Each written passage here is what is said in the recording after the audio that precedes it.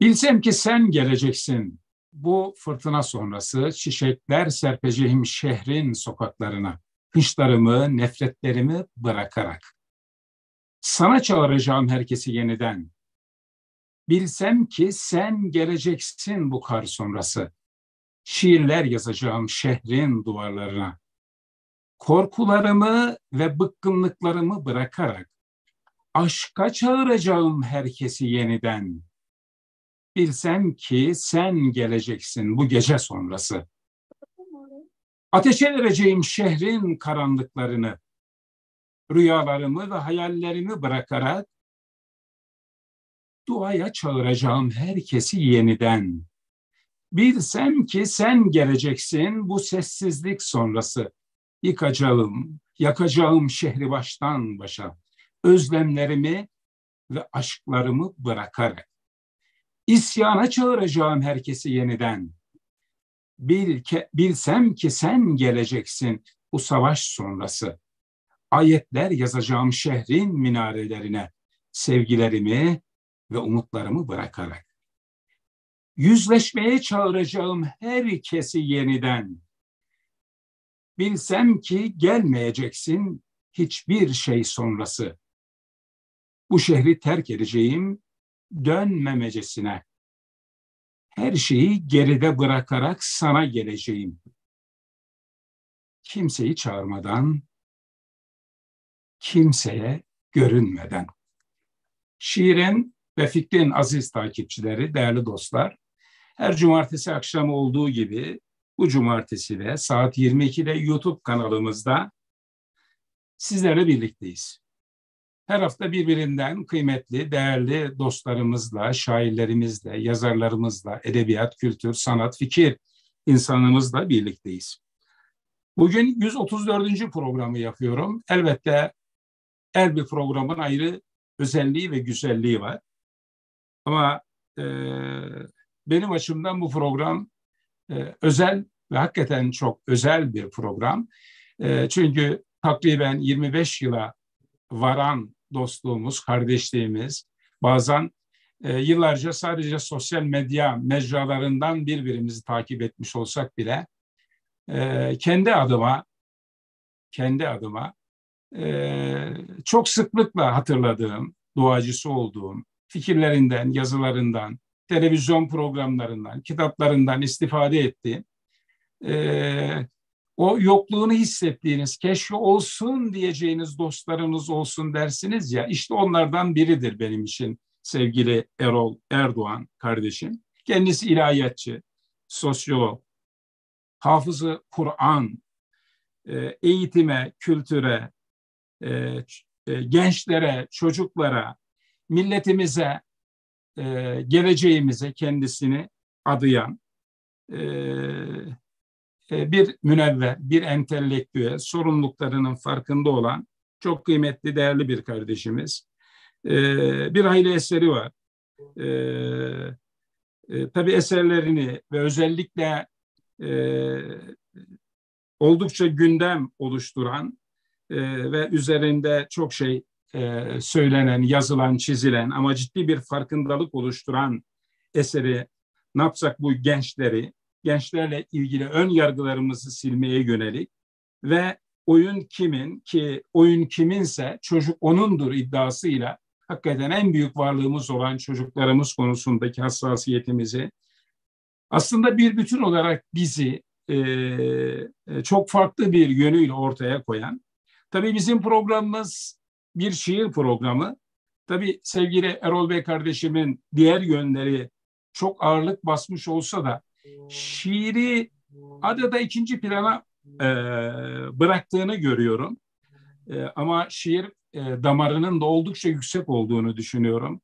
Yani benim girişte okuduğum Bilsem ki şiiri e, Erol Erdoğan'ın bir şair olarak anılmasına sadece ve sadece bu şiir bile yeter. Her şey var.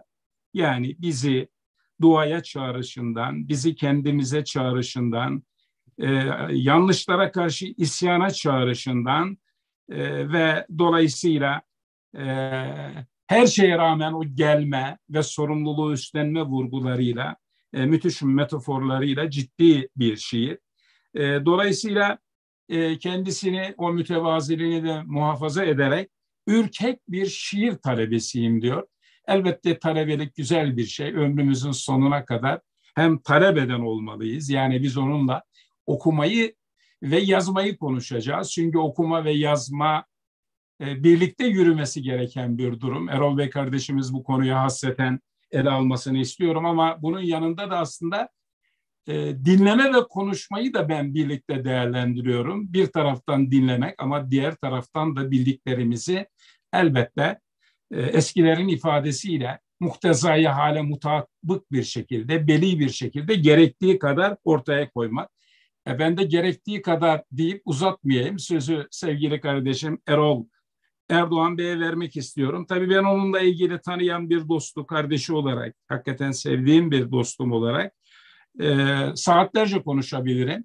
Ama Erol Erdoğan'ı e, Türkiye kamuoyu, aslında fikir alemi, dünyası tanıyor. Televizyon programlarından, gazete e, efendim yazılarından, e, Türkiye'nin e, sanıyorum gitmediği veya birkaç kez dolaşmadığı ili olmayan, yani eğitim özellikle okullarımız, üniversitelerimiz olmak üzere dolaşan bir kardeşimiz. Böyle güzel bir dostla birlikteyiz. Bak ben e, e, herhalde belki YouTube'da kendi de zaman zaman programlar yapıyor ama böyle bir programı herhalde e, sağ olsun o Kadir şınaslığıyla e, bize karşı e, red diyemediği için programa katıldı. Ama çok özel ve güzel bir program olacağına inanıyorum sevgili kardeşim. E, benim için giriş bunlardan ibaret. E, yayına programa hoş geldiniz ve dostlar siz de mutlaka dostlarınızı bu güzel programdan haberdar edin, katılmalarını sağlayın diyorum. Buyurun. E, Cafer abi ben de hem sizi selamlıyorum hem de hem şu anda bizi dinleyen, dinleyen değerli dostlarınızı, e, değerli şiir severleri selamlıyorum. Hem de sonrasında e, videoyu arşivden dinleyecek e, değerli dostlarımızı, arkadaşlarımızı da bizi ilk defa dinleme ihtimalinde olacak çok kıymetli insanları da selamlıyorum. İnşallah güzel bir sohbet olur. Siz güzel bir giriş yaptınız. Bana iltifat anlamda söylediğiniz her şeyi dua niyetine e, kabul ediyorum. Amin diyorum. E, nereden başlayalım bilmiyorum ama bu ürkek e, şairlik meselesine kısaca e, girmek isterim. E, aslında e, şiir her insanın doğasında, fıtratında olan bir yetenek. E, ben böyle inanıyorum. Onun için de hani biliyorsunuz zaman zaman e, biraz böyle ironik anlamda bir ifade terennüm edilir sokaklarda, e, işte herhangi bir sohbet meclisinde ya filan kişi de şair olmuş, filan kişi de şiir yazmış. İşte Türkiye 80 milyon, 90 milyon şair var gibi biliyorsunuz e, şiir yazanlara karşı da zaman zaman böyle e, bıyık altı e, gülümsemeler e, gösterilir. ironiler yapılır, e, alaya almalar, küçümsemeler gösterilir.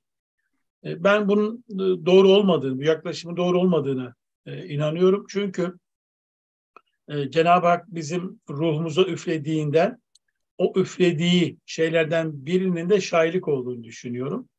Çünkü şairlik sonuçta e, hani onlarca tanımını yapabiliriz ama belki en basit tanımlarından biri şudur. E, sözü her türlü yükten, ağırlıktan kurtarmak diye tanımlayabiliriz. Yani konuşmakla ilgili bir şey, düşünmekle ilgili bir yetenek. E, her insanın da yapabileceği bir şey bu yönüyle. Bazıları zor yapar, bazıları kolay yapar ama sonuçta her insanın bir şiir damarının e, olduğuna inanıyorum. Ayrıca e, kültürümüz de bu şiir damarını e, besleyen bir hüviyete sahip.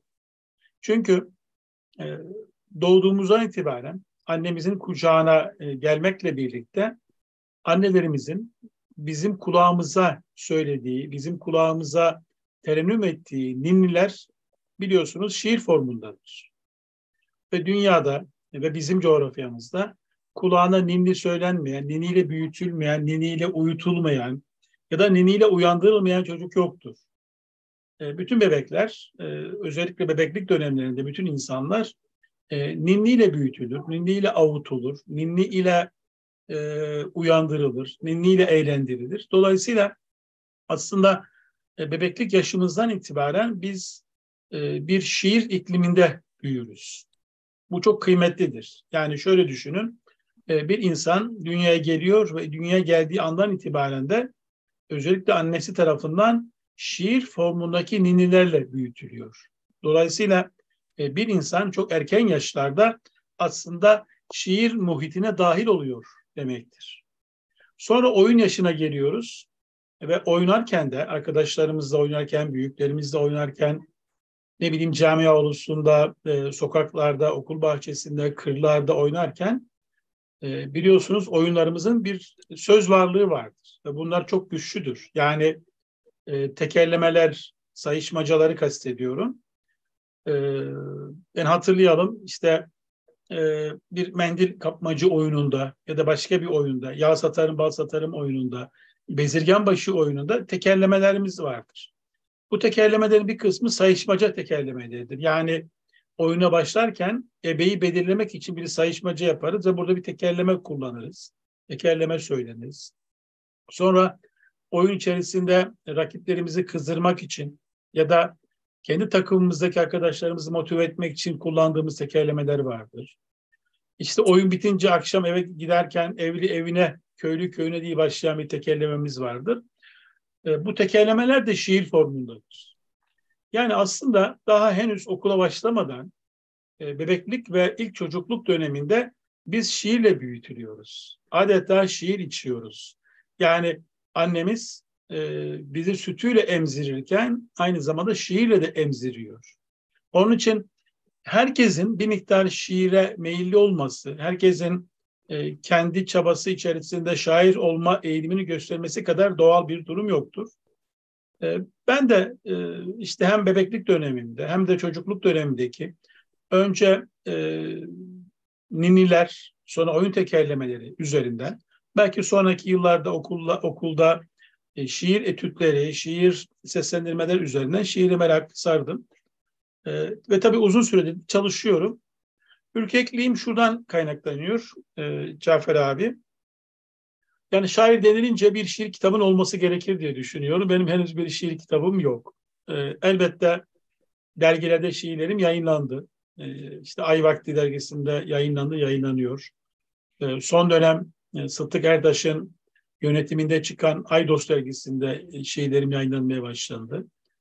Çok daha eskilerde e, Şehrengiz'de yayınlanmıştı. Yani Erol Bey kardeşim sen şimdi Hı. böyle klasik kabulleri çok e, baş tacı yapan değil. Aksine o alışıla gelmiş kabulleri reddeden birisi. Yani işte biraz sonra ele almış olacağız. İşte gençler geleceğimizdir. Hı hı. Şimdi siz bu ifadeyi e, e tümden reddediyorsunuz. Ve, Kesinlikle. E, Evet, şimdi buna benzer bu kadar redleri olan birisinin kalkıp birilerinin tanımı üzerinden şiir kitabının varlığında değil, oysa ki nice şairlerimiz, nice yazarlarımız var ki e, sağlıklarında bir tane eserleri yok. Yani dolayısıyla onların söyledikleri de yaşamı da birer eser olmaya elhak layık olan insanlardır. Aslında bizim kültür coğrafyamız, medeniyet coğrafyamız bunun eserleriyle dolu. Şimdi tabii asbelkader e, ben kendimle ilgili de onu söylüyorum. Ben henüz yazılmamış ve okunmamış şiirlerin şairiyim diye. Şimdi kaç tane şiir yazılınca şimdi sen de çok iyi biliyorsun zaman zaman programda da söylüyorum. Alaaddin Özden Ören abi toplamda 50-55 şiiri var. İşte Mehmet Akif İnan'ın baktığınızda 60-70 tane şiiri var ama bana göre kim ne derse desin öyle e, efendim iki mısraları var ki onları hakikaten e, işin zirvesine e, taşıma açısından, şair anılması açısından başka hiçbir şeye gerek var mı Allah aşkına? Kim demiş her şeyin bitişi ölüm, destanlar yayılır mezarımızdan. Buyurun kardeşim. Erol Erdoğan bu cümle üzerine, bu ifadeler üzerinde 10 gün konuşur. Ben de bir hafta konuşurum. Hiç e, efendim e, e, e, mübalağasız.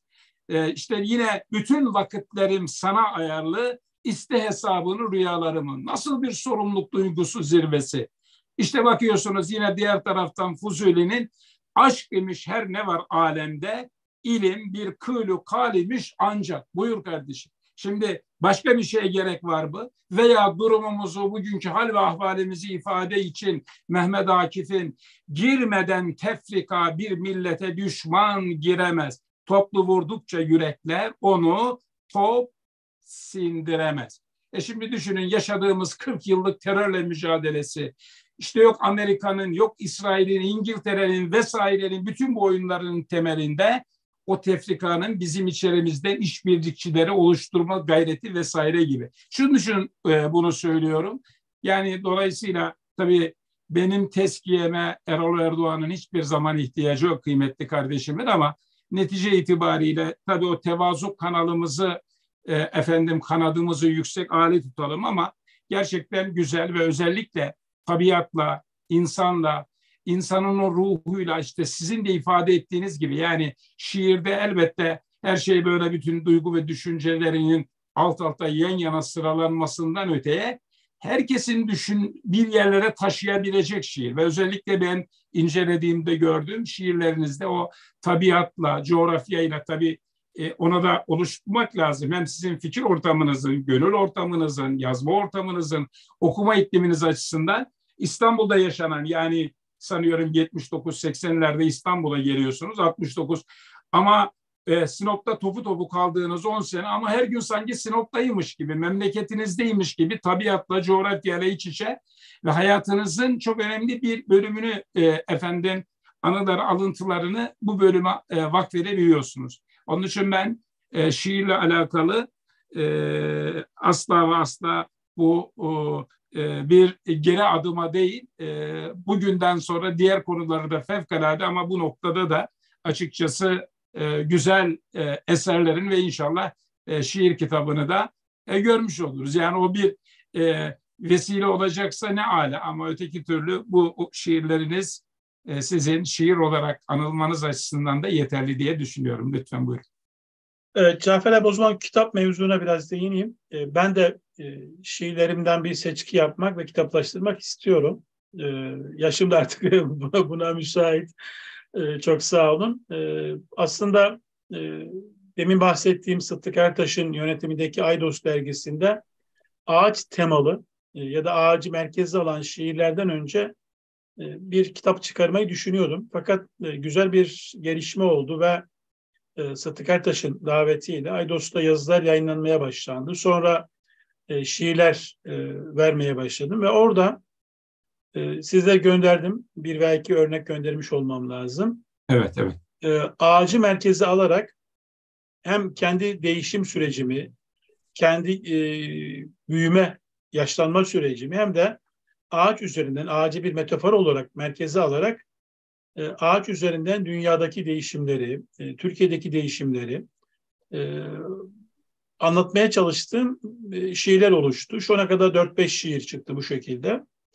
E, bunlar bir yere gelsin istiyorum. Yani bu ağaç merkezli değişim süreçlerini anlatan şiirler belli bir sayıya ulaşınca e, onları kitaplaştırmak istiyorum. Belki müstakil ağaç şiirleri olabilir ya da ağaç şiirlerinin de olduğu ama diğer şiirlerden de seçkiler yaptığım bir şiir kitabı olabilir diye düşünüyorum. İnşallah e, o şiir kitabı çıktıktan sonra belki o ürkekliğimi de bir miktar e, azaltmış olurum diye ümit ediyorum. Ben desteğiniz için teşekkür ediyorum. Yani aslında fikir olarak katılıyorum. Muhtemelen ben de benim karşımda e, şiirleri olan ve ürkekliği olan birisi olsaydı sizin söylediklerinizi söylerdim diye tahmin ediyorum. E, hayırlısı e, inşallah o e, ürkekliğimi de atar e, ve şiirlerimin daha çok şiir severe, sanat severe e, ulaşması için e, ben de gayret gösteririm diye ümit ediyorum. Eyvallah. Şimdi tabii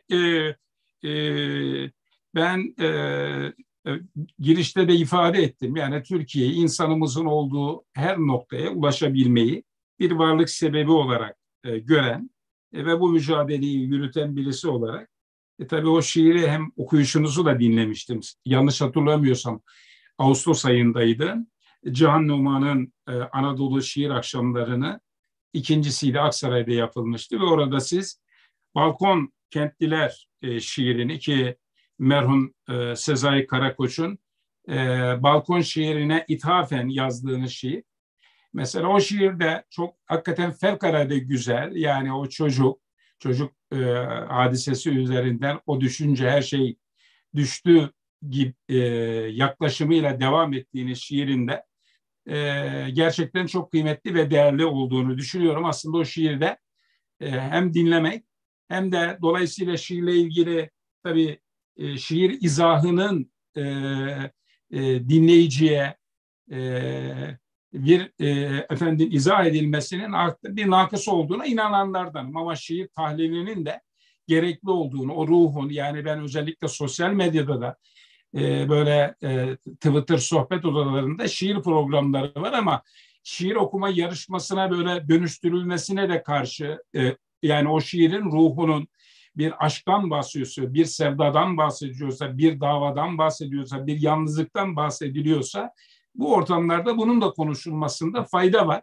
Dolayısıyla e, çünkü sizinle konuşulacak çok konu var. E, dediğim gibi bizim programımız evet şiirin gerekliliğini ben ısrarla şiirsiz olmaz diyenlerdenim. O e, birliğimizi, birliğimizi, nesiller arasındaki kaynaşmayı, dayanışmayı, e, yani bir şiir medeniyetinin, bir kültür medeniyetinin mensupları ise bu kültürün en zirve, edebiyatın en zirve noktası da şiir, daha ötesi yok. E, elbette önemsiyoruz ama onun içerisini e, gerçekten bir hayatımıza ve mesajımıza aynı zamanda da e, bir parçası olarak görüyoruz. E, konuşacağımız çok konu var. E, şiirle alakalı bu bölümde isterseniz e, balkon şiirini e, ve e, bununla ilgili yine o sizin e, yani o asıl üzerinde durduğunuz konulara da yavaş yavaş geçmiş olalım. Şimdi önce Sezai Karakoç Üstadımızın Balkon şiirinden bahsetmek isterim. E, tabii Sezai Karakoç e, Üstadımızın çok şiiri var. E, ve üzerinde çalışılan, e, makaleler yazılan, hatta e, yüksek lisans ve doktora tezleri yapılan şiirleri de az değil, çok. E, balkon şiiri de bunlardan biri. Çok kısa bir şiirdir aslında balkon şiirini e, Sezai Karakoç'un. Ama bu şiir e, entelektüel dünyada e, ciddi yankılar oluşturmuştur. Benim de e, Sezai Karakoç tanıdıktan bir süre sonra e, okuduğum ve hoşuma giden bir şiirdir. E, ayrıca e, çocuk konusuyla, çocuk şehir ilişkisiyle de yakından ilgilendiğim için ve bu e, çocuk mekan, kentleşme, şehirleşme ilişkisi üzerinde e, bir takım üretimler yapmaya da çalıştığım için balkon şiiri çok dikkatimi çekmişti. E, ve rahmetlinin e, işte irtihalinden, aramızdan ayrılışından bir süre sonra da hem Sezai Karakoç üstadımıza rahmet vesilesi olsun diye onu anmak e, ümidiyle hem de e, balkon şiirini farklı bir yönüyle tekrar gündeme tutmak amacıyla ben de e, böyle bir şiir yazdım. E, biraz seslendireyim mi? E, Çok iyi olur. Tabii tabii. Yani biz mutlaka konuklarımızdan şiir dinliyoruz. Kendi şiirini de, başka şiir de ama ben e, özellikle balkon şiirini dinlemek istiyorum. Evet, bu tabii uzun bir şiir ama e, okuyayım. Buyurun. E, şiirimizin adı Balkon Kentliler e, Sezai Karakoça şeklinde hemen şiir başlığının altında bir ithaf cümlesi de yer alıyor. Çocuk düşerse ölür dedin, çocuk düştü, hepimiz düştük. Önce küçücük, sonra kocaman. Yavaş yavaş düştük, ansızın değil. Gökten düştük, bulutlar ve güneşten. Topraktan düştük, sular ve otlardan. Ağaçtan düştük, kuşlar ve yapraklardan. Kitaptan düştük, harfler ve anlamlardan. Balkon hiç düşmedi, biz düştük. Baharları zambak ve papatyadan, harmanları buğday ve ekmekten, kışları kardan ve kavurgadan, yazları körebe ve seksekten, her mevsim düştükçe düştük. Buğdayları dipleriyle yakıyorduk. Siz düşmeden geçtiniz yollardan. Patlatmak istediğiniz beton silolarımızı Düşmeden önce balkonlardan bahar yağmuru gibi kente girdiniz. Koşa koşa alınlarından öptünüz. Evleri balkonsuz yapan mimarların, çocuklarına süt veren annelerin, taşlara şiir yazan çobanların. Bildim, kayboluşun körfezidir kentler. Öyle değildi benim hikayem. Sofradan, sofadan seslenirdi anneler çocuklarına. Rüzgar akardı evimize kandil aralarından. Köylüydüm ben bir köylü çocuğu. Papucu yarım diye ça çağırırken arkadaşlarım İlezük'ten kısık gözlerle bakardım. Hızlı koşardı kirenden atlarımız. Tiz sesi vardı cevizden höpçüklerimizin. Köşede bıraktığımız beş taşımız geceleri atlarımızı sayıklardı. Yıldızlar düşerdi gözümüze. Sabahları avludan çalardı saatlerimiz. Serçeler konardı saçlarımıza. Yüzümüzde son gülümseme kalırdı. Balkonlar göçerken üzerimize göğe bakardık göçüklerimizden. Evimizin tahtadan olduğunu biliyorsunuz. Onu diyenler şimdi çok uzaklarda. Yağmur yağan kırmızı kiremitler aklımda. Ben bunun için yağmuru seviyorum. Yağmur çocuklar için yağıyor çatılara. Yağmur da beni seviyor biliyorum. Onca yolu aşıp gelişinden anlıyorum. Çocuğu balkondan atan bay yabancı. Siz şeytanı çok seviyorsunuz eminim. Şeytan da sizi seviyor bay yabancı. Ötesini söyleyeceğim şimdi ötesini. Yağmur sizin için yağmıyor. Bizim için yağıyor yağmur ve kar. Güneş bizim için uzatmış saçlarını. Geceleri bizim için akıyor ay ışığı. Kış bizim, bahar bizim, yaz bizim. Seher, kuşluk, ikindi bizim. Geçip giden ömür, kaybettiğimiz ev bizim. Yanınıza geçenler çoğaldı bay yabancı. Bozarak silüetleri, üzerek hatıraları, beton aşısı yapılmış kadar canhıraş aşkla. Fısıldadım duyulmadı, çok fısıldadım. Bağırdım, onlar daha çok bağırdı. Sustum, çekildim şimdi. Kim verecek kuşa şehrin göğünü? Kim gösterecek gölgelenmiş camiyi? Kim tutacak düşmekteki çocuğu? Baş mimarın ahını kim besteleyecek? Yine de söyleyebilirim yağmur, bizim için yağıyorsun dağlara. Yine de söyleyebilirim kar, bizim için iniyorsun çatılara.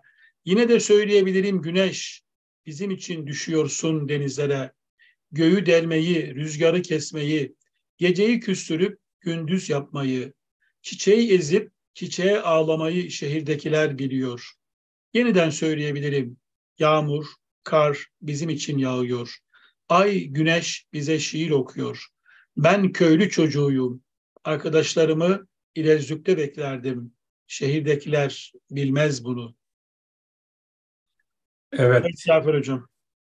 Evet e, sevgili kardeşim çok çok teşekkür ediyoruz. Hakikaten dediğim gibi şiirler tabii hem e, yani bizim maksadımız, mesajımızın, davetimizin, sözümüzün insanlara fayda vermesi ve insanların dikkatlerini toplamaksa hakikaten şiir bu anlamda e, çok kıymetli. Hele hele günümüzde e, insanların çok fazla hani o Z kuşağı falan o kuşaklara da yerle bir ediyorsunuz onu biliyorum ama netice itibariyle bir gerçekle karşı karşıyayız. Bırakın onu e, gençleri e, artık bizim dostlarımız bile bizim yaşıtlarımız bile sohbetlerden uzun konuşmalardan hemen yok 18 dakika pedagoji bunu diyor 20 dakika geçince falan gidiyor.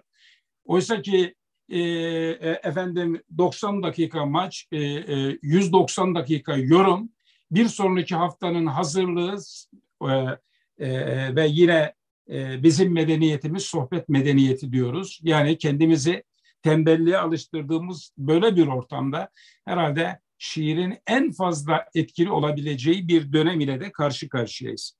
Şimdi tabii e, o kim... Cafer abi e, bu arada ben çay içmek için müsaade alabilir miyim? Süper tabii siz çayı için ve dostlar da aslında çayları e, efendim içiyorlar, not alıyorlar. Yani güzel bir katılım var. Ben dostlara müteşekkiriz. Biraz sonra yorumlarını, efendim e, önerilerini e, ve burada tabii e, çayınızı alın lütfen. E, çünkü biz bir ev sohbeti rahatlığında ortamında, sohbet ortamında diyoruz ki sohbet medeniyeti, sohbeti ben, ben de e, ben de o ben de o ev sohbeti tadını hissetmek ve hissettirmek için e, çayı almak istedim. E, biliyorsunuz şairler iki şeyi çok sever. Ben o iki şeyden birini çok seviyorum. E, biri sigaradır, biri de çaydır. E, sigara alışkanlığım yok. İyi ki de olmadı ama e, çayı çok seviyorum. Elbette kahveyi de seviyorum. E, dolayısıyla hem şiir sohbetinin hem de ev sohbetinin gereği olarak e, çayımı e, değerli izleyicilere göstererek içmek istiyorum. Onlar da içsinler afiyet olsun. Eyvallah. Şimdi çay dediniz. Ben de diyorum ki Erol Bey kardeşim e, ve burada bizi izleyen tüm dostlar. Hayatımızda hakikaten kendisiyle bir çay içmek, bir kahve içmek, bir gece iki saat sohbet edebilmek için yüzlerce kilometre yolu göze alıp bir dostumla ve kardeşimle bu geceyi beraber geçireyim, bir hatırat oluşturayım, geçmişi yad edeyim veya geleceği konuşacağım demeye değer dostlarımız yoksa bu dünyada zarar ve ziyan içerisindeyiz. İşte değerli dostlar ben tabii 134 programda hiç yüz yüze gelmediğim ama gelmek için özlem duyduğum onlarca dostum oldu. Rabbime hamdolsun. İşte şu anda yayında beraber olduğumuz Erol Erdoğan kardeşimle gündüzünde de akşamında da birlikte olduğumuz zamanlar oldu. Ama inanın o görmediğim dönemlerde yüzlerce kez keşke Erol Bey kardeşimle olsak, çayı, kahveyi yudumlasak. Ee, biraz daha e, bu son dönemlerimizi, dünya birleşmemizi, e, bir takım nimetlerin bizi aldıkları, verdikleri konuları konuşabilsek. Efendim e, yine artık biz e, e, mala makama mı, eşyaya mı yoksa insana mı değer veriyoruzu konuşabilsek ve sonra tek olmadığımızı görebilsek. Onun için aslında benim tabii bu sohbet odası e, nice dostlarımızın şu anda bizi izleyenlerin kahır ekseriyeti yazar, çizer, şair dostlarımızdan oluşuyor. Yani burada bir aslında eskiden bizim edebiyat dergilerinin oluşturduğunu evet iddialı cümleler gibi görebilirsin ama arşiv ve tarih inşallah bunun tanığı olacak. Yani o bizim işte Sebilür Reşat'tan, e, efendim Büyük Doğu'dan, e, Diriliş'ten, Mavera'dan ve nice e, benzer dergilerimizin e, benzeri artık yeni çağın bir özelliği olarak da e, bu sosyal medya e, mecralarının olduğunu görüyoruz. Tabii sen televizyonlara bolca katılan birisiniz. Ben artık televizyonları Erol Bey kardeşim reddettim. Çünkü orada insanlar dinlemek ve öğrenmek için değil, birbirlerine gol atmak için derdindeler. Oysa ki biz ol diyenin, olduranın lütfuyla insanlara faydalı olmak. Yani biz öyle büyümüştük, öyle diyorduk. Kazanılan her münazara kaybedilen bir dosttur derken illa da en güzel sözü biz söyleyelim, illa da türbünlerden biz alalım, illa da biz retweet olalım derdinde değil. Bir gönülde yer almanın gayreti içerisinde olmalıyız. Dolayısıyla ben burada dostlara ısrarla söylüyorum. Evet buradaki dostlar birbirlerini lütfen takibe alsınlar. Güzel paylaşımları. İnanın dostları okumak, bu dostların yazılarını okumak, şiirlerini okumak, paylaşımlarını okumak zamanımızı doldurmaya yetecek kadar önemli. Ve yine bu arada da o sosyal e, efendim başkalarının oluşturduğu gündeme takılma yerine ki Erol Bey kardeşim bu tavsiyeyi çok fazla yapanlardan biri değil. Ama benim de bu programlarda tavsiyesini yaptığımdan dolayı tekrar ben de ifade etmek isterim. Ee, bir programda ilgili sanıyorum ikinci ayın biri 2023 yani bunlara hazır ol. E, Face hesabından, Twitter hesabından böyle alıntılarla soracağım sorular da var. Diyorsunuz ki e, efendim e, Rukiye Karaköse Saadettin Ökten hocamızla sohbet etmiş. Sohbetin baş, başlığı hayatı zarafetle yaşamak. Yayını dinleyememiştim. Şimdi video kaydından dinleyeceğim. Saadettin Hoca'yı dinlemek hepimize iyi geliyor. İnanın ben dostlara söylüyorum. Haftada birkaç sohbeti olmasın ki e, işte Kemal Sayar Hoca'yla birlikte o bir şair damarı. İkisi de hakikaten hoş bir sohbette ve bunun dışında müstakilen yaptığı sohbetler sohbet, sohbet, sohbet. Onun için e, dostların birbirini dinlemeye, birbirini anlamaya ihtiyacı var. Bu anlamda Erol Bey kardeşim e, e, konuşma, dinleme, okuma, yazma konuları aslında işin her şeyin özünü oluşturuyor. Bu konularda sizin değerlendirmelerinizi almak isterim. E, Cafer abi sanıyorum birkaç yıl oldu. E, böyle çevreme sürekli şunu söylemiştim. Yine e, bu söylediklerin bir kısmını da e, dijital ortamlarda da paylaştığımı tahmin ediyorum. Yani elimde imkan olsa ya da bir gün karar versem, bir vakıf kurmayı düşünsem, e, dinleme vakfı kurarım diye söylemiştim. Çünkü içinde yaşadığımız çağ herkesin konuşma ihtiyacını daha fazla ortaya koyduğu bir zaman dilimi. Yani biz hepimiz modern insanlar olarak daha çok konuşmak istiyoruz ve herkes bizi dinlesin istiyoruz. Dolayısıyla herkesin konuşmak istediği bir ortamda dinleyenler azaldı. Ee, ama bir insan e, dinlenmediği zaman e, bir sürü problem yaşamaya başlıyor. Yani bugün e, psikolojik problemlerin, e, nörolojik problemlerin e, birçoğunun altında kendisini dinleyecek bir insanın olmaması yatıyor.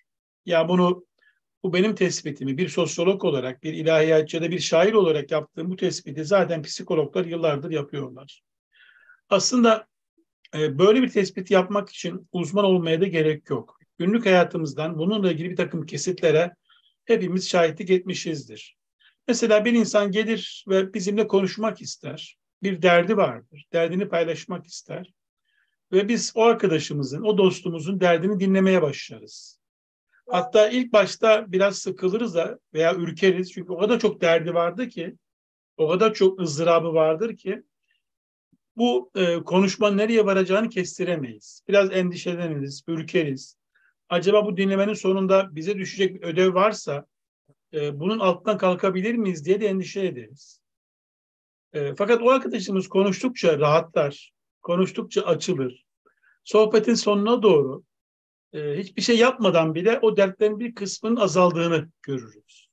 Çünkü insan konuşurken ve karşıdaki bir insan kendisini dinlerse o konuşma ve dinleşme esnasında zaten derdi olan insan sorunların bir kısmı ile ilgili çözüm yollarını da bulur. E, çünkü dinlenmediği için, konuşamadığı için o sorunları zihninde büyütmüştür kendi dünyasında büyütmüştür ve kendi dünyasında sorunları büyüttüğü için kendisi küçülmüştür. Düşünemez hale gelmiştir ama o muhabbet ortamı bile e, sorunların en azından bir kısmının çözüm yoluna girdiğini e, bize gösterir. Ayrıca e, diyelim ki bir arkadaşımız bize derdini anlattı, ızdıraplarını anlattı, bizden bir takım yardımlar istedi. Ve diyelim ki bizim o arkadaşımıza yardım etme gücümüz yok. Yani sohbetin sonunda bazen iki elimizi açarız. Ya kardeşim e, sana yardım etmek istiyorum ama bu konuda yapabileceğim bir şey yok diyebiliriz. Karşıdaki insan bize kızıp ya kardeşim ben sana iki saattir konuşuyorum işte hiç yardımcı olmuyorsun demez. Ne yap ne der? Olsun der. Dinledin ya. Değil mi? Hayatımızda çok karşılaştığımız bir anekdottur bu. Yani bir arkadaşımızın ızdırabını, derdini, sorunlarını anlatması karşısında kendimizi çok aciz hissettiğimiz, sonra yardımcı olamadığımız anlar olmuştur ve bunu beyan ederiz. Ama o arkadaşımız gerçekten arkadaşımızsa ve biz gerçekten çok samimi dinlemişsek, yapabileceğimiz bir şey var mı niyetiyle dinlemişsek ama elimizden de bir şey gelmiyorsa, bir şey saklamıyor, saklamıyorsak, elimizden gelen şeyi yapmıyor değil, tam aksine yapamıyorsak, karşıdaki arkadaşımız der ki, ya senden Allah razı olsun dinledin ya bu bana yeter. Bu bana dostluk olarak, bu bana arkadaşlık olarak, bu bana e, kardeşlik olarak yeter der. Aslında bütün bunlar birer dua gibidir. Yani ben dinlemeyi e, dua gibi de görürüm. Yani iki insan birbirini dinliyorsa, bir arkadaş bir başka arkadaşa derdini, ızdırabını, sorunlarını, acılarını, çıkmazlarını anlatıyorsa, öbür tarafta samimice dinliyorsa aslında üçüncü dinleyenin Allah olduğunu biliyoruz. Dolayısıyla Allah bu dinlemeye bir merhamet indirecektir. Bu dinlemeye e, şefkatini, rahmetini, e, bağışlamasını, inayetini indirecektir. E, siz yani dinlemeyle ilgili cümle kurarken bütün bunlar aklıma geldi ve gerçekten e, modern dönemin en büyük problemlerinden birisi herkesin konuşmak istemesi ama dinleyenin çok az olmasıdır. Ee, ben hayatımda mümkün mertebe dinleme e, ameliyesini önemsedim. Bazen dakikalarca, bazen saatlerce, bazen hiç cümle kurmadan bile e, ama iyi bir dinleyici olarak karşımdaki insanı dinlemeye gayret ettim. Bazen e, dinlemenin beni çok yorduğunu da e, fark ettiğim anlar oldu ama hep şunu düşündüm. Olsun şu anda yoruluyor olabilir ama bu bana şifadır. Bu beni de iyileştirecektir. Bu benim için de merhemdir diye düşündüm. E, bugüne kadar da dinlemenin zararı değil tam aksine büyük faydalarını gördüm. Hani belki şu anda bizi dinleyen dost, değerli dostlarımızla söyleyebileceğimiz en iyi reçete e, dinleyin. Kimi dinleyelim? Herkes. Çevremizdeki dertli olan, samimi olan, ızdırap olan herkesi. Ve gerçekten çok dertli olan bir arkadaşımızı dinlemeye başlarken ya ben bir şey yapamam ki niye dinleyelim, niye dinleyeyim diye düşünmeyelim. Bazen dinlerken Cenab-ı Hak ilham ediyor ve bir çözüm yolu bulabiliyoruz. Çözüm yolu bulamasak bile o dinlemenin bir dua yerine geçtiğini, bir sadaka yerine geçtiğini e, şuurunda olalım. Allah'ın rahmetini e, esirgemeyeceğini, Allah'ın inayetinin o dinleme vesilesiyle e, geleceğini farkında olalım. Kaldı ki dinlemek bizim aynı zamanda Müslümanlık görevimizdir. Aynı zamanda e, insanlık görevimizdir. Kimi dinleyelim dedim birkaç cümle oraya ilave edeyim. Günümüzde en az dinlenen insanlar maalesef çocuklar ve gençler. E, bizim toplumumuzda işte e, su küçüğün, söz büyüğün e, sözünde olduğu gibi e, çocuklar hep e, talimat alması gereken, çocuklar ve gençler hep nasihat dinlemesi gereken varlıklar olarak e, kabul edilmiş. Ve sen şöyle kenarda dur, sen sıranı bekle, sen şimdi konuşma, senin bildiğin gibi değil, bu işler senin sandığın gibi değil cümleleriyle hep susturulmuş. E, oysa biliriz Amerikan filmlerinde bile e, böyle aile toplantıları yapılır ve gençler, çocuklar e, aile toplantılarında görüşlerini beyan ederler. Sonra da biz deriz ki ya bak ne güzel işte çocuklarını dinliyorlar falan. Oysa e, bunu onlardan daha çok bizim yapmamız gerekir. Dinlemek kimseyi yormaz. Dinlemek kimseye e, bir kötü yol göstermez. E, çevremizdeki dostlarımızı, arkadaşlarımızı dinleyelim ama en çok da ihmal ettiğimiz ve sürekli susturduğumuz e, gençleri ve çocukları dinleyelim. Dinlemek hemen e, o istenilen şey yapmak değildir. Dinlemenin esas amacı anlamaktır. Dinlemenin esas amacı e, anlamaktır. Anlamadan zaten anlaşmak mümkün değil. Anlamadan konuşmak mümkün, mümkün değil. Anlamadan yol yürümek mümkün değil. Dolayısıyla e, iletişimin temel şartı veya birinci adım olan anlamayı e, başarmamız lazım. Anlamanın da yolu elbette samimi bir şekilde dinlemektir. Evet, e, e, tabii hocam e, biz burada tabii dostların ben önce şunu söyleyeyim e, programı ilan ettikten sonra birçok dostun e, WhatsApp aracılığıyla arayarak size selamları var. Bunlara özellikle üniversite rektörlerimizden, hocalarımızdan, e, ortak dostlarımızdan bir aile dostların selam var. Bir de burada e, yorumlarıyla katılanlar var.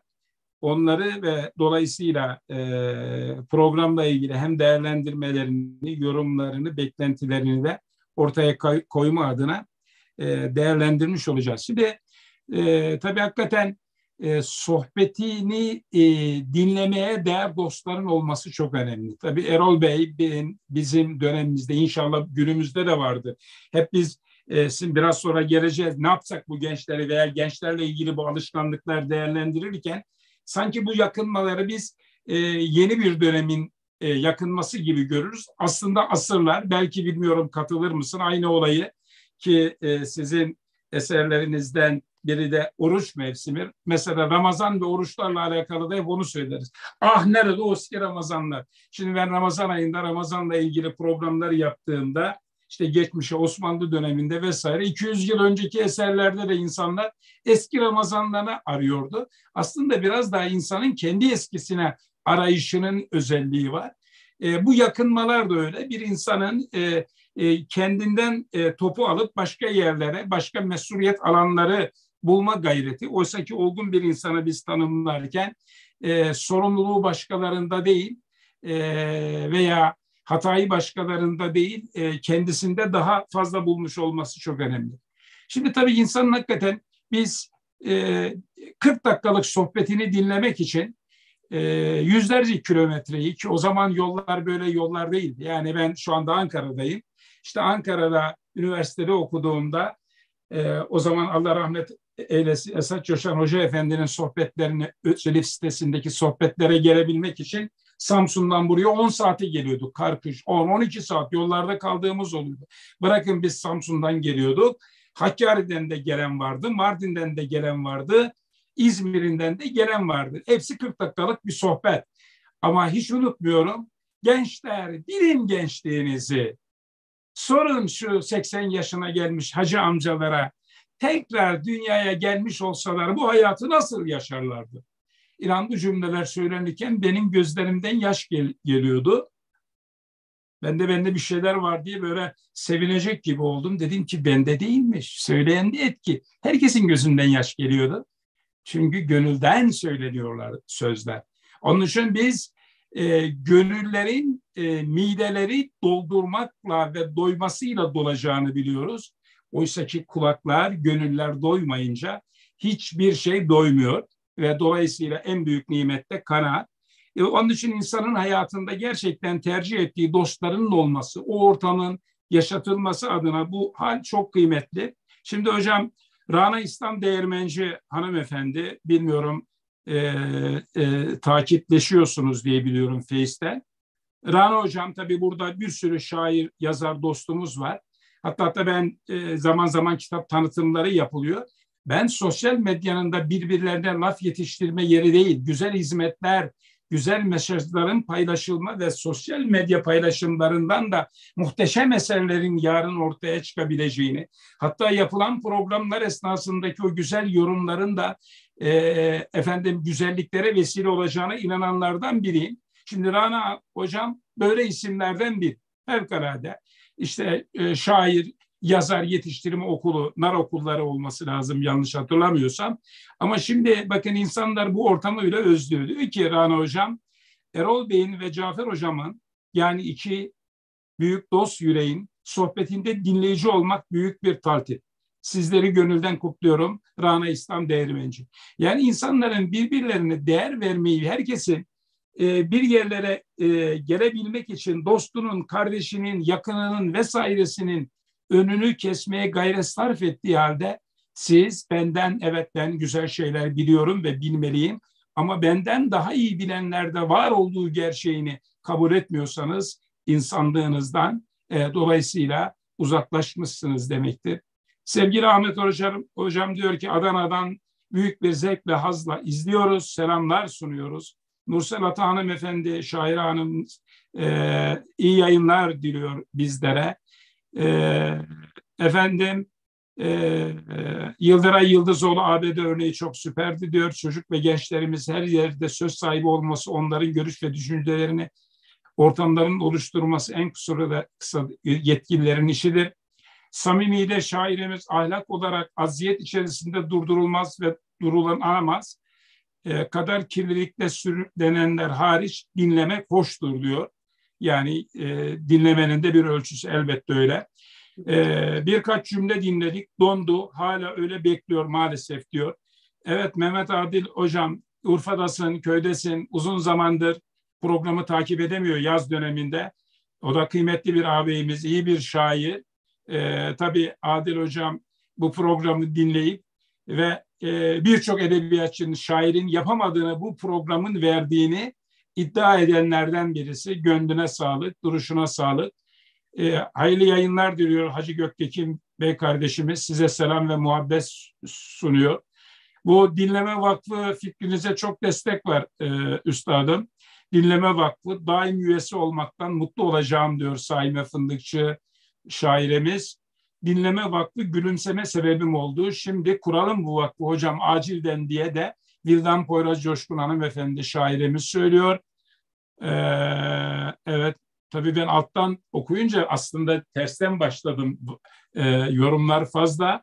Şiir Mahallesi, Sohbet Caddesi, Uyat Durağı, Bitişiği, Kafiye Sokak, Hecehane e, demiş Samimi'de e, şairimiz. E, Sayma Hanım da Mana Kasabası diye de ilave etmiş. Serhat Bey kardeşimiz hayırlı yayınlar diliyor. E, dostlarla ilgili herhalde Saime Hanım diyor ki hamdolsun var üstadım yoksa bu dünyanın kahrı çekilir mi? E, e, Mecit Erdoğan e, büro memur senin genel başkanı izleyenlere konuğumuza tüm dostlara selam. İsmail Ayan e, efendim e, selam ve muhabbet ifade ediyor. Es-sahbetu bila şay, kes semayı bila ay demiş. Murat Kıroğlu afiyet olsun hocam şey, çayınızla ilgili söylemiş. Selam ve muhabbet ifletiyorlar.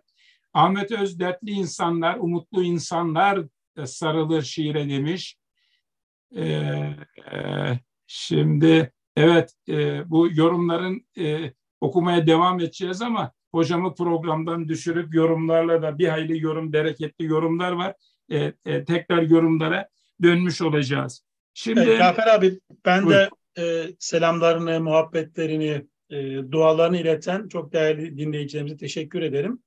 Siz ilk olarak Rana İslam'dan e, aktarımda bulunmuştunuz. Rana Hanım'a da e, teşekkür ediyorum. İlk defa e, onunla Ankara'da bir programda tanışmıştık. Sonraki süreçte de ben de e, özellikle Facebook üzerinden e, çalışmalarını izliyorum, gayretlerini görüyorum. E, ben de teşekkür ederim kendisine ve tabii diğer isimlerini telaffuz ettiğiniz çok değerli dostlarımıza da ben de buradan selam ederim. Yani ben e, çok teşekkürler. Yani ben de buradaki dostlara söylüyorum. Diyorum ki dostların dostları e, dostumuzdur. Hele hele bu dostluklar hak ve hakikat namına olduysa mutlaka takip edilmesi gerekir. Yani şu anda e, en az 20-30 tane şairimiz, şairimiz burada e, fikir, düşünce insanı e, ve e, şiirin zaten dinleyicisi e, e, sıradan bir insan değil. Yani hakikaten e, bir kapasite işidir. E, dolayısıyla e, bu zora ve güzelliğe talip olanlara selam ve muhabbet e, sunuyorum. E, hayırlı ve bereketli bir program dileğimle diyor Musa Uzunkaya ağabeyim.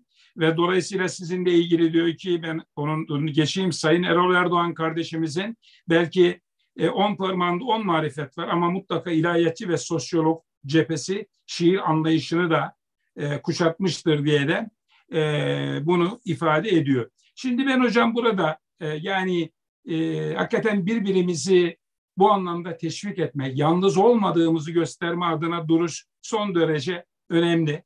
E, ben tabii programları geçmişe yönelik olarak da geriye dönük olarak da arkadaşlar izlesin diye e, belki hafta işler artık bir arşiv de oluştu paylaşıyorum. İnanın Rana Hanım'da yaptığımız program diğer dostlar her biriyle ilgili mutlaka öyle ama onlar da Rana Hanım'ın hakikaten e, hem kalemi hem mücadelesi ve duruşu fevkalade olan bir kardeşimiz. Onu tekraren dinledim ve tekrar notlar alarak gittim. Tabii onu tespit etmiş olması gerekir ki İsmail Ayan İlim ve İrfan Akademisi. E, onlar da İsmail abi e, salı günleri e, Zoom ve e, e, YouTube üzerinden program yapıyor. Bilmiyorum katılma imkanınız oldu mu? Şimdi orada e, Rana Hanım'a bir program teklifinde bulundu. Hatta bana dedi ki Cafer Bey sana rakip geliyor. Dedim ki biz e, biz bunu bunu bunu, şöyle değerlendiririz dedim. Festabikul hayrat, iyilikte ve güzellikte yarışın. Bizde rakip olmaz, bizde refik olur, yol arkadaşı olur. Rana Hanım da tabii bizim edebiyat aleminin, dünyasının vesairesinin de falan öyle hale gelmişiz ki acaba böyle bir program yapılırsa ya Cafer Hocam bundan alınganlık üzüldüm. Ben bu psikolojiyi gördüm konuşmasında. Dedim ki hocam Böyle bir program yaparsanız o programı en ziyadesiyle takdim eden, duyuranlardan biri biz oluruz. Önemli olan şiir zevkini, kültür zevkini, okuma zevkini, dinleme zevkini, insan olmanın onurunu e, verebilecek sohbet odalarımızın sayısı artması lazım. Binlerce, on binlerce kişi toplanıp birbirine hakaret, ötekileştirmelerin yapıldığı e, 24 saat süren odaların olduğu yerde ben burada bici dostlara adeta görev verip sen bir tarih programı yapmalısın. Sen işte e, efendim e, e, e, fıkıh programı, sen hadis programı, sen İslam tarihi ve günümüze e, güncellemelisin. Sosyoloji, psikoloji, siyaset her neyse. Dolayısıyla biz e, burada e, dostlarla e, ciddi bir e, mücadelenin e, kendi varlığımızı var olma yani var oluş sebebimizi inşa etmenin gayreti içerisinde. Şimdi Erol Bey kardeşim, tabii seninle o kadar dediğim gibi konuşulması gereken konu var ki ben ama dostlara söylüyorum. Hiçbir dostumuzun yani e, işte 50 e, yıllık mücadelesini tabii Erol Bey o kadar da 50 yıllık deyip de e, yaşlandırmayalım. Yok, Ama diye, diye, diyebilirsin abi rahat ya, ta, Yani yaş 50'leri bulmuş olsa da 50'leri hafifçe aşmış olsa da ama neticede 40 yıllık çok aktif belki 45 yıllık süren bir mücadele. E, tabii onlarca eser var ortada. E, verilen yüzlerce konferans var. Belki binlerce konferans, televizyon programı, radyo programı, e, efendim siyaset vesaire gibi sahanın her alanında var olan birisi. Yani onun için biz buradaki dostlara lütfen zaman ayırılsın ve eserlerine, eserlerini almaya tekrar tekrar bakılsın. Ben bu program bana faydalarından biri. İnan o programı yaptığımız dostlarımızın daha önce okuduğumuz eserleri yeni baştan dönüp okumaya, yeni baştan bir takdim arzusuyla bakma ihtiyacı hissediyoruz. Bu yönüyle de son derece kıymetli. Tabii birbirinden kıymetli eserlerimiz var. İşte insan mevsimi, oruç mevsimi, çocuk oyunları, oyun sözü, e, gün be gün yani günlüklerden oluşan özellikle ne yapsak bu gençleri e, sorusu. Aslında ben tabii o soruyu sorarken eserlerinize bir değerlendirelim ama oraya geldiğimiz zaman aslında bu soruyu ne yapsak bu orta yaşları, e, e, siyasetçileri, vakıfçıları, e, din alimlerini, herkesle ilgili bunları söyleyebiliriz. Yani ama siz e, ısrarla bir şeyi söylüyorsunuz. E, yani burada e, bir farkındalığı oluşturmak, gençleri anlama çabanızı ortaya koruyorsunuz ve özellikle gençlerle ilgili ön yargıların kırılmasını arzu ediyorsunuz. Tabii ben e, ne yapsak bu gençleri eserinizin hakikaten ve hakikaten e, evet e, siz her ne kadar e, ben gençlerin de okumasını istiyorum. Yani çünkü burada e, siz istemiyorsunuz anlamına gelmez mefhumun muhalifinden. Ama anne babaların, ebeveynlerin, vakıfların, eğitimcinin, siyasetçinin tüm kesimlerin okunması. Çünkü Erol Bey aynı zamanda bir araştırmacı yani verilere dayalı, tahlillere dayalı olarak bu gerçekleri ortaya konuluyor. Dolayısıyla biz evlatlarımızdan, gençlerimizden, çocuklarımızdan, yaşlılarımızdan, siyasetçimizden ki ben programlarda söylüyorum 85 milyondan hiçbir insana heba etmeye hakkımız olmadığına göre hiç kimseyle ökökileştirmeye hakkımız yok. Evet bu kitabınız hakkında bir konferans verecek kadar mutluyum ama sizin yanınızda da o hikayeyi yapmak istemiyorum. Dolayısıyla gençlerle ilgili ön yargılar, burada ön plana çıkarılan hususlar ve dolayısıyla tabii bunların tespiti önemli ama biz neticede e, suçlu aramıyoruz. E, ben zaman zaman düğün toplantılarında da eş adaylarda da söylerim. E, haklı olmaya değil mutlu olmaya bakın. Biz dolayısıyla bunları tespit etmekle birlikte gençler haklı, yaşlılar, orta yaşlılar, siyasetçiler falanlar, aileler haksızın derdinde değiliz ama bir gerçeği ortaya koymak gerekiyor. Buyurun sevgili kardeşim. Ee, şimdi Cafer Hocam gençler meselesi şundan çok önemli. Ee, bir defa nüfusumuzun çoğunluğu genç. Kime genç diyoruz? Ee, öncelikle 15-24 yaş arasında olanlara genç diyoruz. Biraz daha genişletirsek 30 yaş altı yani 15-30 yaş altındaki insanlarımıza genç diyoruz. İster, ister 15-24'ü alalım, istersek 15-29 yaş arasını alalım. Toplumumuzun önemli bir kısmı, e, ciddi bir oranı gençlerden oluşuyor. Dolayısıyla e, bir toplumun 30 yaş üstüyle 30 yaş altı birbiriyle kavgalı olursa, birbirini anlamama e, pozisyonlarında e, yer edinilseler yani bu toplumda gerçekten bir huzur olamayacağı gibi e, din, dil, kültür aktarımı da mümkün değildir. E, dolayısıyla hem gençlerin yetişkinlere yönelik, yaşlılara yönelik ön yargılarını azaltması gerekir. Hem de e, yetişkinlerin gençleri ve çocuklara yönelik ön yargılarını azaltması gerekir. Benim e, bu çalışmaları yaparken temel felsefem, temel niyetim budur. Peki tablo nedir? E, hani onlarca veri paylaşabilirim ama çok e, kritik gördüğüm ve bizi dinleyen herkesin Aa, bir dakika demesi gereken bir veriyi paylaşmak istiyorum. O da şu. Türkiye'de aşağı yukarı ondan fazla araştırmanın ortak sonucu olarak tespit ettiğim vaka, vaka şu. Biz yetişkinler olarak yani orta yaş, ileri yaş, yaşlılar olarak e, gençler aleyhinde Türkiye'de 60'tan fazla ön yargılı cümle kuruyoruz. 60'tan fazla. Yani işte gençler saygısız, gençler bilmez, e, gençler deist oluyor, gençler konuşmayı bilmiyor, gençler e, kitap okumuyor, gençler iş beğenmiyor diye kurduğumuz cümlelerin toplamı 60'tan fazla. Şimdi e, kıymetli dinleyicilerimiz de bana hak verecektir. Yani bir topluluk düşünün, bir sosyal topluluk düşünün. Hatta bir millet, bir ırk düşünün.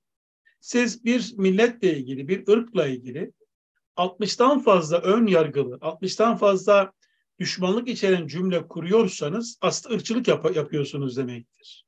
Yani gençleri bir millet olarak düşünsek biz aslında gençlik ırkçılığı yapıyoruz demektir. Gençlere karşı düşmanlık, nefret ortaya koyuyoruz demektir.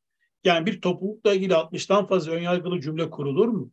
Allah aşkına tam bir nefret suçu. Tabii bu, bu nefreti nereden oluşturduk? Yani velev ki haklı bile olsak, yani diyelim ki gençler ilgili kurduğumuz cümlede ama Erol Bey haklıyız denilen cümleler olabilir.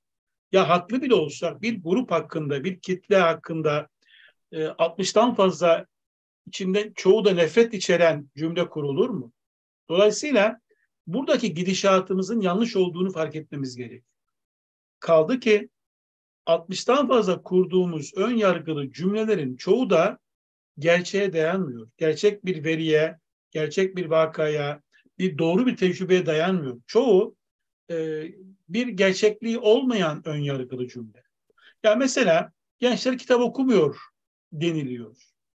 Halbuki bütün araştırmalar gösteriyor ki Türkiye'de en çok okuyan yaş grubu 30 yaş altıdır. Yani okumayan gençler değil. Okumayan biziz. Yetişkinler olarak okumuyoruz. Tamam gençlerin kitap okumasını eksik görebiliriz, az görebiliriz. Okuma biçimlerine dair eleştirilerimiz de olabilir. Ama gençler kitap okumuyor dediğimizde Cafer Bey aslında biz yetişkinler olarak kendi suçumuzu örtüyoruz. Ya okumayan biziz. Okumayı terk eden biziz. Peki neden? Onu da söyleyeyim. Çünkü bizim kültürümüzde maalesef bir taraftan beşikten mezara kadar ilim öğrenmek farz diye inanırken diğer taraftan kitap okumayı okulla ilişkili bir eylem kabul ediyoruz. Eğitimle ilişkili bir zorunluluk kabul ediyoruz. Dolayısıyla okul bitince, eğitim bitince, bitince diploma alınınca okumayı terk ediyoruz. Mesela e, gençler internet bağımlısı. Ya hayır, 50 yaş üstü oransal olarak daha fazla internet bağımlısı. Yani yaşlıların, yetişkinlerin internet bağımlısı olduğunu anlamak için çok da veriye ihtiyaç yok. Yani cuma akşamları gelen bayram şey cuma mesajlarından e, bunu anlayabilirsiniz ya da Facebook'ta biraz gezinti yaparsanız aslında Türkiye'de esas internet bağımlısı olanların e, 40 yaş üstü, 50 yaş üstü, 60 yaş üstü olduğunu zaten görürüz.